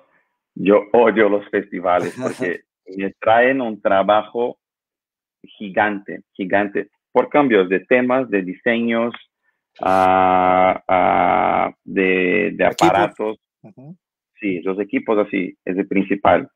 Y también uh, hay festivales que, que muchas veces los responsables por, por, por, las luces también meten su diseño. Y tratar de tratar de encajar tu diseño en ese y que, que, la gente se emocione de la misma forma es muy complicado, muy complicado. Hay, hay festivales que sí respetan rider, respetan a diseños, pero hay muchos festivales que están como festivales locales, como en, en España, en Perú, en Chile, que son escenarios fijos y llegan las bandas, nomás si quiere una lucecita extra en el piso, los ponen. Pero el diseño ya está hecho, entonces tiene que trabajar con, con lo que está hecho, lo que está puesto. Eso es muy, muy complicado. Y en una gira no, es súper sencillo. Después que terminamos, ya, ya firmamos eso, lo que va, así montamos, tal, tal, tal gente entra a tal hora y eso sí, así, giramos en automático. Y ya que hablaste de la pregunta, Nana, hablando de festivales y, que no te gusta la gira y tener festivales por la, con, digamos, como Ana y entrar a festivales, pero, pero ¿cómo llegaste a ser eh, el, el light designer, el ingeniero responsable del mayor festival latino del mundo en Viña del Mar por dos años, 2019-2020. ¿Cómo llegaste hasta ahí? ¿Qué hiciste? ¿Cuál era tu responsabilidad eh, en Viña del Mar? Bueno, de, de, verdad en Viña, yo, yo tengo mi socio que es Felipe Cerey, que para mí era uno de los artistas, de los designers más uh, grandiosos de la nueva generación. Es un, es un, es un, de verdad, digo que es un hermano que yo tengo allá porque compartimos muchas cosas además del, del profesional. Y, pero Felipe Serey estuvo como encargado, uh, estuvo encargado del equipo de montaje, o sea, de la compañía. Felipe es el jefe de, de, de, gente, de, de, la gente de montaje de órbita, que es el, el proveedor de luces del festival, hace muchos años, más de 10 años. Y siempre estuvo ahí, entre todos entraban y cambiaban, diseñadores entraban y cambiaban. Y Viña del Mar, la gente no sabe, pero es, una licitación del gobierno, es un patrimonio del gobierno. Y de cuatro en cuatro años cambian la gente, cambian todo el equipo. Además, la producción, la dirección, todo. Y el año pasado, uh, el año pasado, no, el año pasado fue 2019, 2018 me dijo, a ver, uh, quizás yo voy a proponer algo a, Viña. Y si yo entro a Viña, tú estás conmigo. Yo, claro, ¿qué necesitas? No, que me ayude con eso, eso, eso. Y, vamos, y empezamos a tirar ideas, ideas, ideas, ideas. Hicieron una escenografía con Bart, que es un otro tipo de, de, de, de Bélgica que yo conocí en otro festival hace muchos años. Y, o sea, juntamos ideas, juntamos ideas y Felipe sí es el gran responsable por todo el concepto de, de Viña del Mar. Y yo entré con, con, en asociación con eso y con todo el sistema. Yo hago, en Viña del Mar, yo hago, yo soy, soy co-designer. O sea, Felipe, que, que, está firmando, Felipe es el director de luces. Yo soy el co-designer, yo soy el programador oficial del festival y también eh, el ingeniero de sistemas porque es un sistema completamente complejo. Llevamos seis consolas, uh, tantos de 40 universos, fibras y cables de red, de backup, así, y, y, yo manejo, todas las consolas no trabajan juntas al mismo tiempo, y desde mi consola yo manejo la consola del invitado y la consola del 3D, y así, es una cosa que trabajamos en vivo siempre, y es muy complicado hacer eso, muy complicado. Y también la, la carga horaria. La gente no imagina que, que, para hacer viña nosotros trabajamos como tres semanas antes y los ensayos siempre terminan como en una, una semana antes de empezar el festival empezamos con los ensayos. Los ensayos corren hasta las 2 de la mañana y después de las 2 de la mañana que apuntan todo lo que quieren cambiar y nosotros empezamos a trabajar con luces hasta las 7 de la mañana. Terminando eso, empieza el festival. El festival en vivo entra, entramos en el aire a las 9 de la noche y terminamos a las 3 de la mañana. Todos los días, por una semana. Pero como yo soy responsable por el sector de consolas y programación y todo eso y sistemas, todo día recibimos dos iluminadores porque son dos bandas. y el iluminador de la banda principal, del headliner, tiene derecho de programar en vivo, o sea, con el escenario y con los aparatos, con el equipo prendido. Terminando el festival, se termina a las 3 de la mañana, llega el iluminador de la banda principal del siguiente día. Uf, una locura. Nos, nos quedamos hasta las siete y media cuando hay cambio de energía y apagamos generador. A las 8 de la mañana llega mi asistente, que es el, el, Pablo Hippie, que es mi, bra mi brazo derecho, izquierdo y mis piernas, para recibir el iluminador de la segunda banda, que tiene hasta las 11. Entonces, yo salgo a las 8, llego al hotel, desayuno y duermo. Regreso a las 3, almuerzo, y ya empezando a recibir el iluminador que se quedó toda la noche conmigo para intentar corregir algo, la, la, la, la, la. Entonces, eso por una semana. Wow. Y la gente nomás está viendo, ah, qué bonito se ve. Ah, súper sencillo. No, en, en Viña este año traíamos como 500, casi 600 aparatos. Uf. Y con todo. Y es súper, súper complejo trabajar, pero el equipo, la gente que trabaja con nosotros es eh, eh, es muy bonito ver la gente trabajando junto y nosotros tenemos nuestra, nuestro cafecito en nuestra casa allá. Chocolate con Jack Daniels, todo, sí. Esto es lo mejor que hay, esto es lo mejor que hay.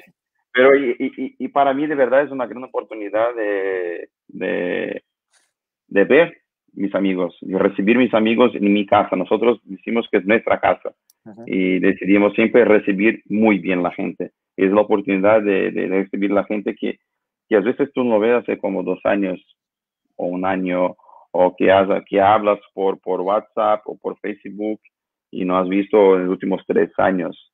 Y esa es, yo creo que esa es la mejor parte de hacer Viña del Mar, y estar con mis amigos.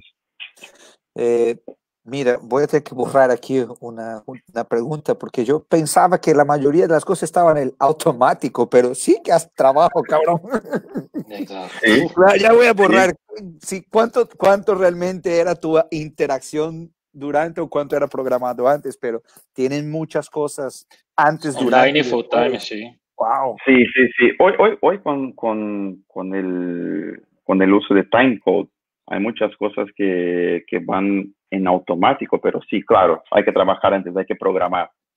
Ah, a mí, en, en, realidad, en mi show de, de Maná, a mí me gusta siempre tener las dos primeras canciones en Tiny Code. ¿Por qué? Porque yo tengo muchos detalles. Entonces, si yo estoy corriendo, operando manualmente una canción que va a subir la, la, la, la tela de proyección y va a mover las pantallas atrás, va a mover las luces y va a bajar el truz y el seguidor y el video, si falla algo, va a fallar todo. Es, un, es una cosa muy complicada. Entonces, yo prefiero tener las primeras dos canciones o tres canciones en Timecode para que yo pueda también analizar todo el setup, ver si está corriendo todo bien y ahí yo, yo, yo me quedo tranquilo. Pero de verdad, mi show hoy, básicamente 50% Timecode y 50% manual porque yo no puedo vivir haciendo rock and roll en Tiny Code. Ajá, claro. Pero si, no... si tú tienes, mira, un, una dica, si tienes unas, unos aparatos como tiene Leandro, te puede trabajar Te resuelve. Tranquilo. Mételo ahí, 40, 50, 200 de estos y ya. Mira. Yo voy, yo voy a Ahí con eso. un control. Sí, yo voy a sugerir eso al solo de Alex. Quizás metemos como 12 y quitamos los, la, las llamas de esa y quizás sí. mejor. Y con un control te, te, aprieta el power y ya. Mira cómo la está tecnología. No, yo no, yo regalo el control a Alex y, y, y yo, yo, voy a tomar una chela, lo que sea. ay, ay. Bueno, Pero sí, es, es distinto. Y, y, hay muchas cosas, hay canciones de ejemplo que en Maná jamás ha utilizado Time Code. ¿No? Ellos tocan, tocan en vivo y no tienen uh, secuencias ni nada y yo sé que esas canciones siempre por obligación van sin time code. Otras uh -huh. cambian, otras entran y salen, eso es normal, pero hay que, que, tener cosas manuales porque tú también hay que tratar de emocionarse con todo el trabajo uh -huh. que ha hecho. Claro. Y, transmitir eso. Entonces la gente está viendo operar, tú operando y, sabe que está transmitiendo todo eso. ¿Alguna pregunta ahí del público? No, hasta ahora no. No. si tiene preguntas, háganos, porque ya estamos caminando para el cierre del programa. Sí, sí, estamos caminando para el cierre. sí. Em, en, todos estos años de experiencia, ¿cuál ha sido tu mayor reto? Algo que te, haya hecho sudar, pero al mismo tiempo te has hecho sentirse seguro de que el resultado impecable, satisfactorio, te dijo, no, esto es lo que quiero para mi vida. O sea, ¿cómo recuerda algún momento donde sufriste mucho para entregar algo que has pensado o en saltar o en tomar la decisión de que era lo que quería para tu vida? Ah, de verdad, ah, cuando cuando yo encontré a mi, a mi socio, que es mi gran referencia ah, profesional, que es Guillermo Herrero, y, decidimos, yo tenía como referencia, siempre lo tuve como, como referencia y decidimos crear nuestra compañía. Y yo creo que ahí sí fue como empezar una nueva vida y de verdad, de verdad, ya hacía muchas cosas, ya trabajaba con muchas cosas, pero en 2010 decidimos uh, crear nuestra compañía de soluciones visuales, porque no habían uh, estudios, no habían uh, gente que se dedicara nomás a programación y a creación de shows. Y ahí sí decidimos salir del mercado que trabajábamos, de giras, de todo, de trabajaba con su artista. Y yo juntamente en esa época trabajaba con Anao en, en, en, una oficina y para mí sí fue, fue bien complicado uh, seguir haciendo mis cosas y, y, o sea, es un matrimonio, un socio que es más viejo que yo, tiene otra cultura, piensa completamente distinto. Y en ese momento sí, yo, yo empecé a considerarme profesional, porque nosotros sabemos que en Brasil, en sonido hay como personas como Nanao, en todo, que, que, dan, que dan clases y trainings oficiales. Pero en luces nunca tuvimos, nunca tuvimos una escuela. Entonces yo aprendí, yo soy completamente autodidacta porque yo no, yo no aprendí nada con nadie. Claro, una cosita eso, que una cosita acá, y, pero nunca entré a una escuela para aprender a hacer luces. Entonces, eso es puro sentimiento. y, es una cosa natural.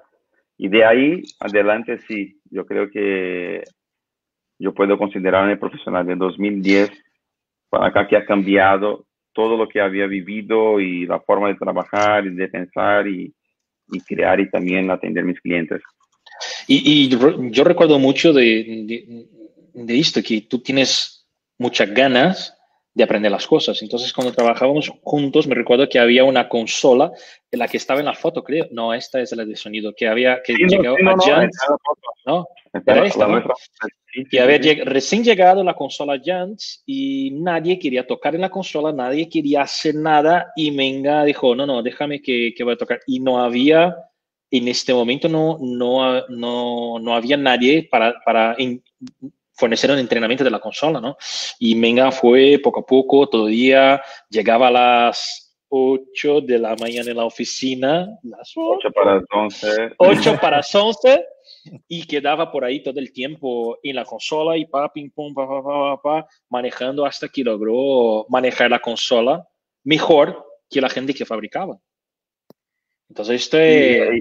fue una cosa muy rara, porque cuando llegué, yo sabía que, que la compañía que nosotros trabajamos traía la marca Jant. Sí. fue la, la, la, separación de antes, era como Hog Jant, y Hog después se quedó más Jant. Y yo siempre buscaba informaciones de consolas y todas esas cosas, y yo sabía que ellos tenían esta consola que era increíble, Jant Vista. Era increíble hasta su momento. Y yo pregunté de la consola y estaba tirada, de verdad, estaba tirada en la bodega, así, sin una, sin una funda, sin nada, lloviendo encima y así como basura. Yo me quedé así completamente, como dicen los mexicanos, de encabronado, porque es imposible tener una, una consola así que cuesta tanto para nosotros en Brasil, así tirada. Yo limpié todo, no, ¿por qué está tirada? No, porque otro, otro chico que trabajaba me dijo que no funcionaba. Sí, que no funcionaba. No, no funciona. Y yo limpié, la sequé, prendí, sí, funciona. No, porque dijo que eso tal cosa no funciona. Bueno, ¿puedo llevar a la oficina? Ahí metemos en el showroom. No, porque nadie sabe manejar. ¿Puedo llevar? Sí. Y ahí llegaba y pa, pim, pum, pa, pim, pum, pim. Y hice así, hartos shows con esa consola. Y, ya, siempre tuve esa, esa gana de, de aprender Sí. y querer, saber mucho más lo que, lo que sé. Tal que en varias, en varias ferias que trabajamos juntos, había ferias que, ejemplo, AES, que nomás de sonido, Ujú. yo iba con Anao a hacer Sí. demo de, de, de DAS, Ujú. pero nomás por ser de la misma compañía, pues yo quería acompañar y, y me preguntaban, oye, ¿qué canción pongo? Y tal, y el playlist, y, y acompañaba para aprender también porque es mi profesión. Sea, eh, es, es de, mi, de, de mi métier, vamos a decir así. Yo trabajo también con, con mis oídos y hay que aprender mucho más también para pedir mucho más. Claro. Es verdad. Y mm, bueno, vamos caminando para el cierre y, y hay una pregunta que siempre la hacemos porque, bueno, ustedes como profesionales que invitamos son, son referencias y en sus áreas de actuación y siempre, pero más allá de mi pregunta, en todo lo que hablamos hoy, has dejado muchos mensajes eh, eh, eh, para las personas y pregunto, ¿qué consejos podría dejar tú al, al, chico que te está viendo ahora o el no tan chico, pero que quiere mejorar sus habilidades o quiere ingresar en el mundo de light design? ¿Cuál es tu consejo, tu recomendación? Más allá que ha dado varios, pero ¿cuál es tu, tu gran mensaje así de, mira, pon cuidado en esto? Ah, cuidado en, en, no anticiparse, o sea, no decir que eres algo que todavía no eres. Ah, hoy vivimos una, una época que la, la, tecnología nos trae muchos beneficios, pero también al mismo tiempo nos trae mucha ilusión de pensar que sabemos más que otra persona. Sí. Yo, soy de, yo soy de una época que yo iba a las ferias con mi papá, porque mi papá trabajaba con audio, esas cosas, y yo entraba en los, en los booths, en los stands de las, de las compañías y literalmente robaba manuales de aparatos de los equipos para aprender, para leer lo que hacían, porque nosotros no sabíamos nada. Yo aprendí a, a, a hablar inglés, entre comillas, leyendo el manual de una perla de, de Avolite, porque no había manual en portugués. Entonces, nosotros vivimos una época de aprendizaje manual, de verdad. Hoy no, hoy si quiere, no, porque mi, mi refrigerador no funciona. YouTube. Te mete en Google. Yeah. ¿Cómo arreglar Electrolux, tal cosa? Y va. Es el, es el tema. Entonces, la tecnología, sí, nos trae muchas cosas buenas, pero también hay que utilizar de una forma buena. Hay mucha gente que tiene su software, su visualizador 3D craqueado porque, no sé, compró de China y como dice en el principio, pone un trus y hay unos equipitos colgados. Yo soy light designer. Pero ¿por qué está haciendo eso? Todo hay una razón y un motivo. Hay que tener mucha paciencia, mucha paciencia. Uh, hubo un caso, un ejemplo de un, de, un, de, un, de un, chavo de Brasil que tiene 20 años, eh, me sigue en Instagram, me envió un mensaje, oye, ¿tú vives en Los Ángeles? Sí, vivo en Los Ángeles. ¿Y cómo llegaste ahí? ¿Con quién trabajas? Sí, trabajo con Maná, pero es que mi sueño, mi sueño es vivir en Los Ángeles y hacer las luces como de ACDC y Rolling Stones. Yo nací para eso. Pues, te felicito, pero despacio, cálmate. Y entonces la gente se anticipa mucho porque sabes hacer, manejar una consola o hacer tal cosa distinto, yo soy el mejor. No, yo no soy el mejor. Yo, yo soy el mejor para mí. Eso que importa. Pero yo sé que hay muchas, muchas personas mucho mejores que yo y yo las considero y les doy todo el crédito. Hay que ponerse en su puesto y es el principal, humildad. Y, y, y lo demás viene creo que el universo te, te, regala. De hecho, ahora con la tecnología, la gente, yo veo que en general, no son todos, claro, pero la gente no tiene muchas ganas de aprender, como, como comentaba ahora, como, no sé, 15 años atrás, porque si quiere la información, te mete en Google y ya. O sea, tampoco la gente... No. Lo que pasa mucho es que, como tú has comentado, ya ha pasado conmigo también, la gente pide un, un sistema o, no sé, una consola de, de, de, luces o tal cual, pero tampoco sabe cómo manejarla. Y, y, y, porque, ah, no, yo vi dos, tres vídeos en YouTube y ya, ya, ya lo sé manejar. Sí, pero es sí. un poco la verdad, o sea, la gente no tiene más gana de, de, de, aprender. O sea, en el momento ahora de COVID, por ejemplo, que la gente está en casa, podría estudiar un poco más la información, pero la gente no, ah, ¿para qué? Tiene el Google, tiene YouTube, tiene un montón de informaciones ahí. Entonces, lo veo que en general tiene que tomar mucho cuidado porque, no sé, porque la tecnología está, está haciendo con que la gente se quede un poco boba, ¿sabes? Eh, eh, eh, yo, entre, yo entre comillas. Ha cambiado, ¿no? ha cambiado un poco porque, ejemplo, nosotros siempre hicimos por pasión. Ahí está tema. Y, y, hoy, y hoy en día vivimos también una época de las, de las redes sociales, en que la gente que pone, sube un video son los mejores, tienen la mejor vida, tienen el mejor uh -huh. sueldo, la mejor esposa, la mejor casa, el mejor coche, los mejores viajes, y a veces eso todo es mentira, porque claro. es lo que estás presentando para que la gente crea que tú lo tienes. Es decir, nosotros claro. vivimos en una época uh, hace años que hacemos por pasión. De verdad, yo con mi papá, cuando dice, mi papá, mi, mi, mi, papá, mi papá decía, mira, tú tienes que ser un doctor. Tienes que ser ahí en la pared colgado o algo. Dice, papá, yo nací en una discoteca. ¿Cómo quieres que yo, yo logre hacer otra cosa que no sea en este mundo? Y mi papá dice, no, yo no te apoyo. Pues bien, no hay problema. Yo me apoyo. Y un día te dejaré orgulloso. Y, y así es. Entonces, es pura pasión. Y hoy la gente hace nomás para, por, por likes, por views yeah. en YouTube, todas esas cosas. Hay una gran diferencia entre, uh, digo, los jóvenes que están llegando, tienen mucha capacidad, mucha capacidad, claro. Tienen su, duda, mentalidad 15 años, 20 años más nueva y así logran hacer las cosas muy rápido. Pero sí. nosotros formamos una opinión, un concepto, una, una forma de trabajo y eso tarda. Eso tarda. Tenemos uh, inspiraciones, gente que, nos inspira, espectáculos que nos inspira, uh, trabajos. Yo, yo, yo te digo, a mí nunca me encantó Beatles. Nunca me encantó Beatles. Yo no soy un fan de Beatles. Si, a este está en la, en la radio, qué bueno. Pero nunca llegué en mi casa en una fiesta, Beatles, vamos. Un ejemplo, yo estaba en los ensayos de aventura con Wadi y traía varios, varios, varios problemas de video y me dijo, a ver, tú por esta noche está libre. ¿Quieres hacer algo? Y yo, pues sí, estamos en Pring. Pring es una ciudad que está como 30 kilómetros de, de, Vegas. Dice, oh. venga, vas a ver el show de Cirque du Soleil de Beatles. Y yo dije, Wadi, a mí no me gusta Beatles. Venga, ¿confías en mí? Sí. Y compra la silla más alta posible. Te lo juro que mínimo de seis veces yo lloré. Porque es una cosa que trata de emocionar. Y nosotros trabajamos con eso.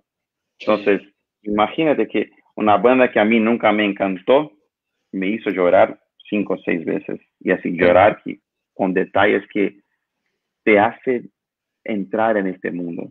Y, y, yo creo que trabajamos así, tratamos de emocionar a la gente y, y, lo más profundo posible. Yo creo que entre lo que han ahí comentado los dos y todo, es que para mí es un poco más superficial el conocimiento por tener tanta accesibilidad. Por sí, superficial, sí, sí, por, antes teníamos que forjar ese conocimiento y que haga algo como parte de tu ADN. Hoy es algo tan superficial porque ahora tú piensas que este color o esta marca es mejor porque está diciendo en red social, pero mañana cambia, superficial, ya es otra por otra razón. Entonces, en el pasado no, porque hoy en día uno gana dinero por hacer posts o por, por views en YouTube. Sí. Antes muchos nosotros trabajamos por esa pasión. El dinero, pues, si pagaban algo bien, pero si hubiera una gaseosa al final del show o algo, queríamos ir ahí a aprender de esa experiencia, esa era la paga, ¿no? Hoy en día es un poco diferente. Así que, de verdad, muy buenos consejos, muy buenos cambios de experiencia. Y también, para ti, ¿qué define el alma del show? Yo creo que cuando se, en dos cosas, para mí se definen dos cues. Cuando yo pido house lights off, cuando empieza el concierto, y cuando se prende al final y yo miro a mi alrededor y toda la gente abrazándose y, y sonriendo y feliz. Yo creo que para mí es el momento más importante, cuando se termina y yo veo que el resultado de nuestro equipo, yo, la gente de cámaras, la gente de sonido, la gente, la banda principalmente, nosotros logramos entregar lo que la gente uh, esperaba. Es la pasión. Yo creo que es, es la pasión.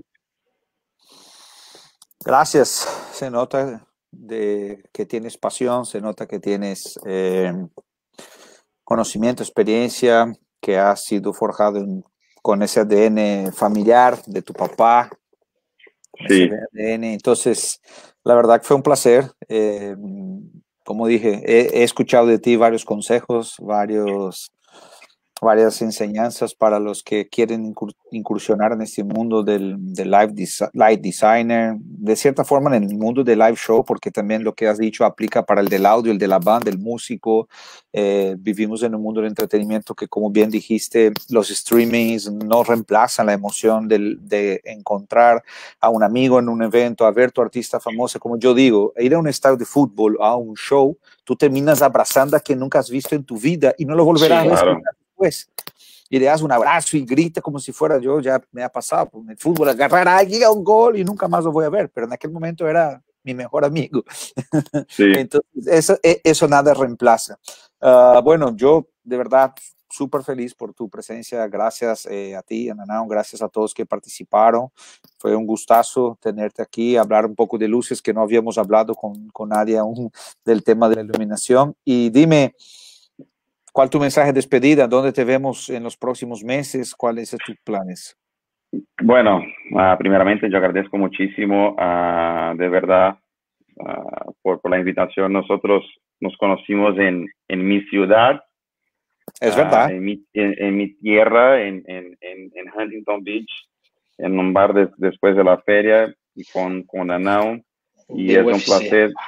Sí, Noche de UFC y pelea. Vimos de la UFC y la pelea más corta que Y la pelea en vivo. No, dos, dos, dos. Ah, es verdad, dos, dos. dos. Sí, sí, sí.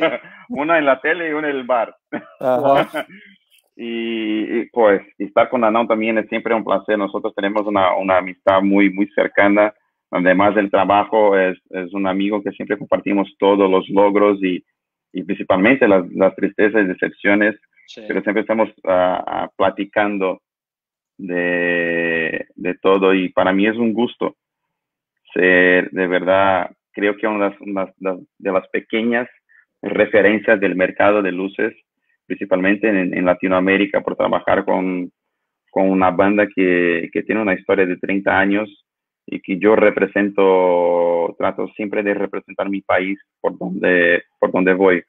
Siempre pongo mi banderita ahí encima de mi consola, siempre, eh, siempre pongo mi, mi mane de, de, Brasil y Santos, y porque es una, es una cosa que, que yo tengo incluso aquí en el tatuaje, no importa por dónde vaya, hay que siempre recordar de dónde saliste. Y eso es la cosa más importante. Y, y ser invitado para hablar de mi vida es, es, es, un placer. Es un placer. Siempre, siempre estaré disponible y cuando quieran, nomás claro. llámame y, y platicamos. Gracias. Esperemos la próxima ser en persona, hacer un encuentro. Sí, y decir, y, de, y decir, y decir a la gente, no, eso, peleamos vivo no, vivo no, y decir a la gente que, que está empezando ahora que la vida de luces no es tan sencilla y tan fácil como se parece en YouTube. Ninguna, yo diría. Sí. Bueno, señores, gracias, eh, Menga, tremendo placer. Gracias, Danao, que sigan bien, que sigan cuidándose, que sigan eh, preparándose para, para retomada. Sé que pronto hay eventos y todos también, venga, así que nada, éxito, saludos a todos que estuvieron de Senegal, de España, de Portugal, de Brasil, de México, de Uruguay, de Argentina, de Paraguay. Gracias, hasta la próxima, que estén bien. Bendiciones. Vamos a cerrar con la música de Menga. Menga Music. Y Mr. John. Hasta luego. Bye bye.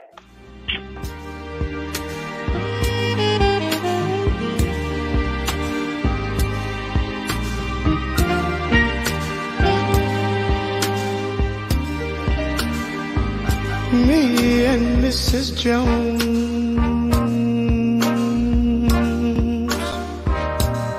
We got a thing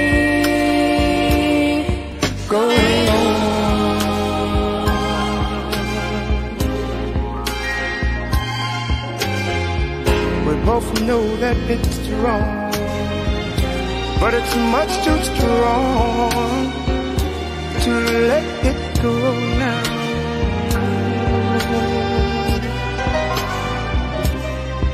We meet every day at the same cafe, 6.30.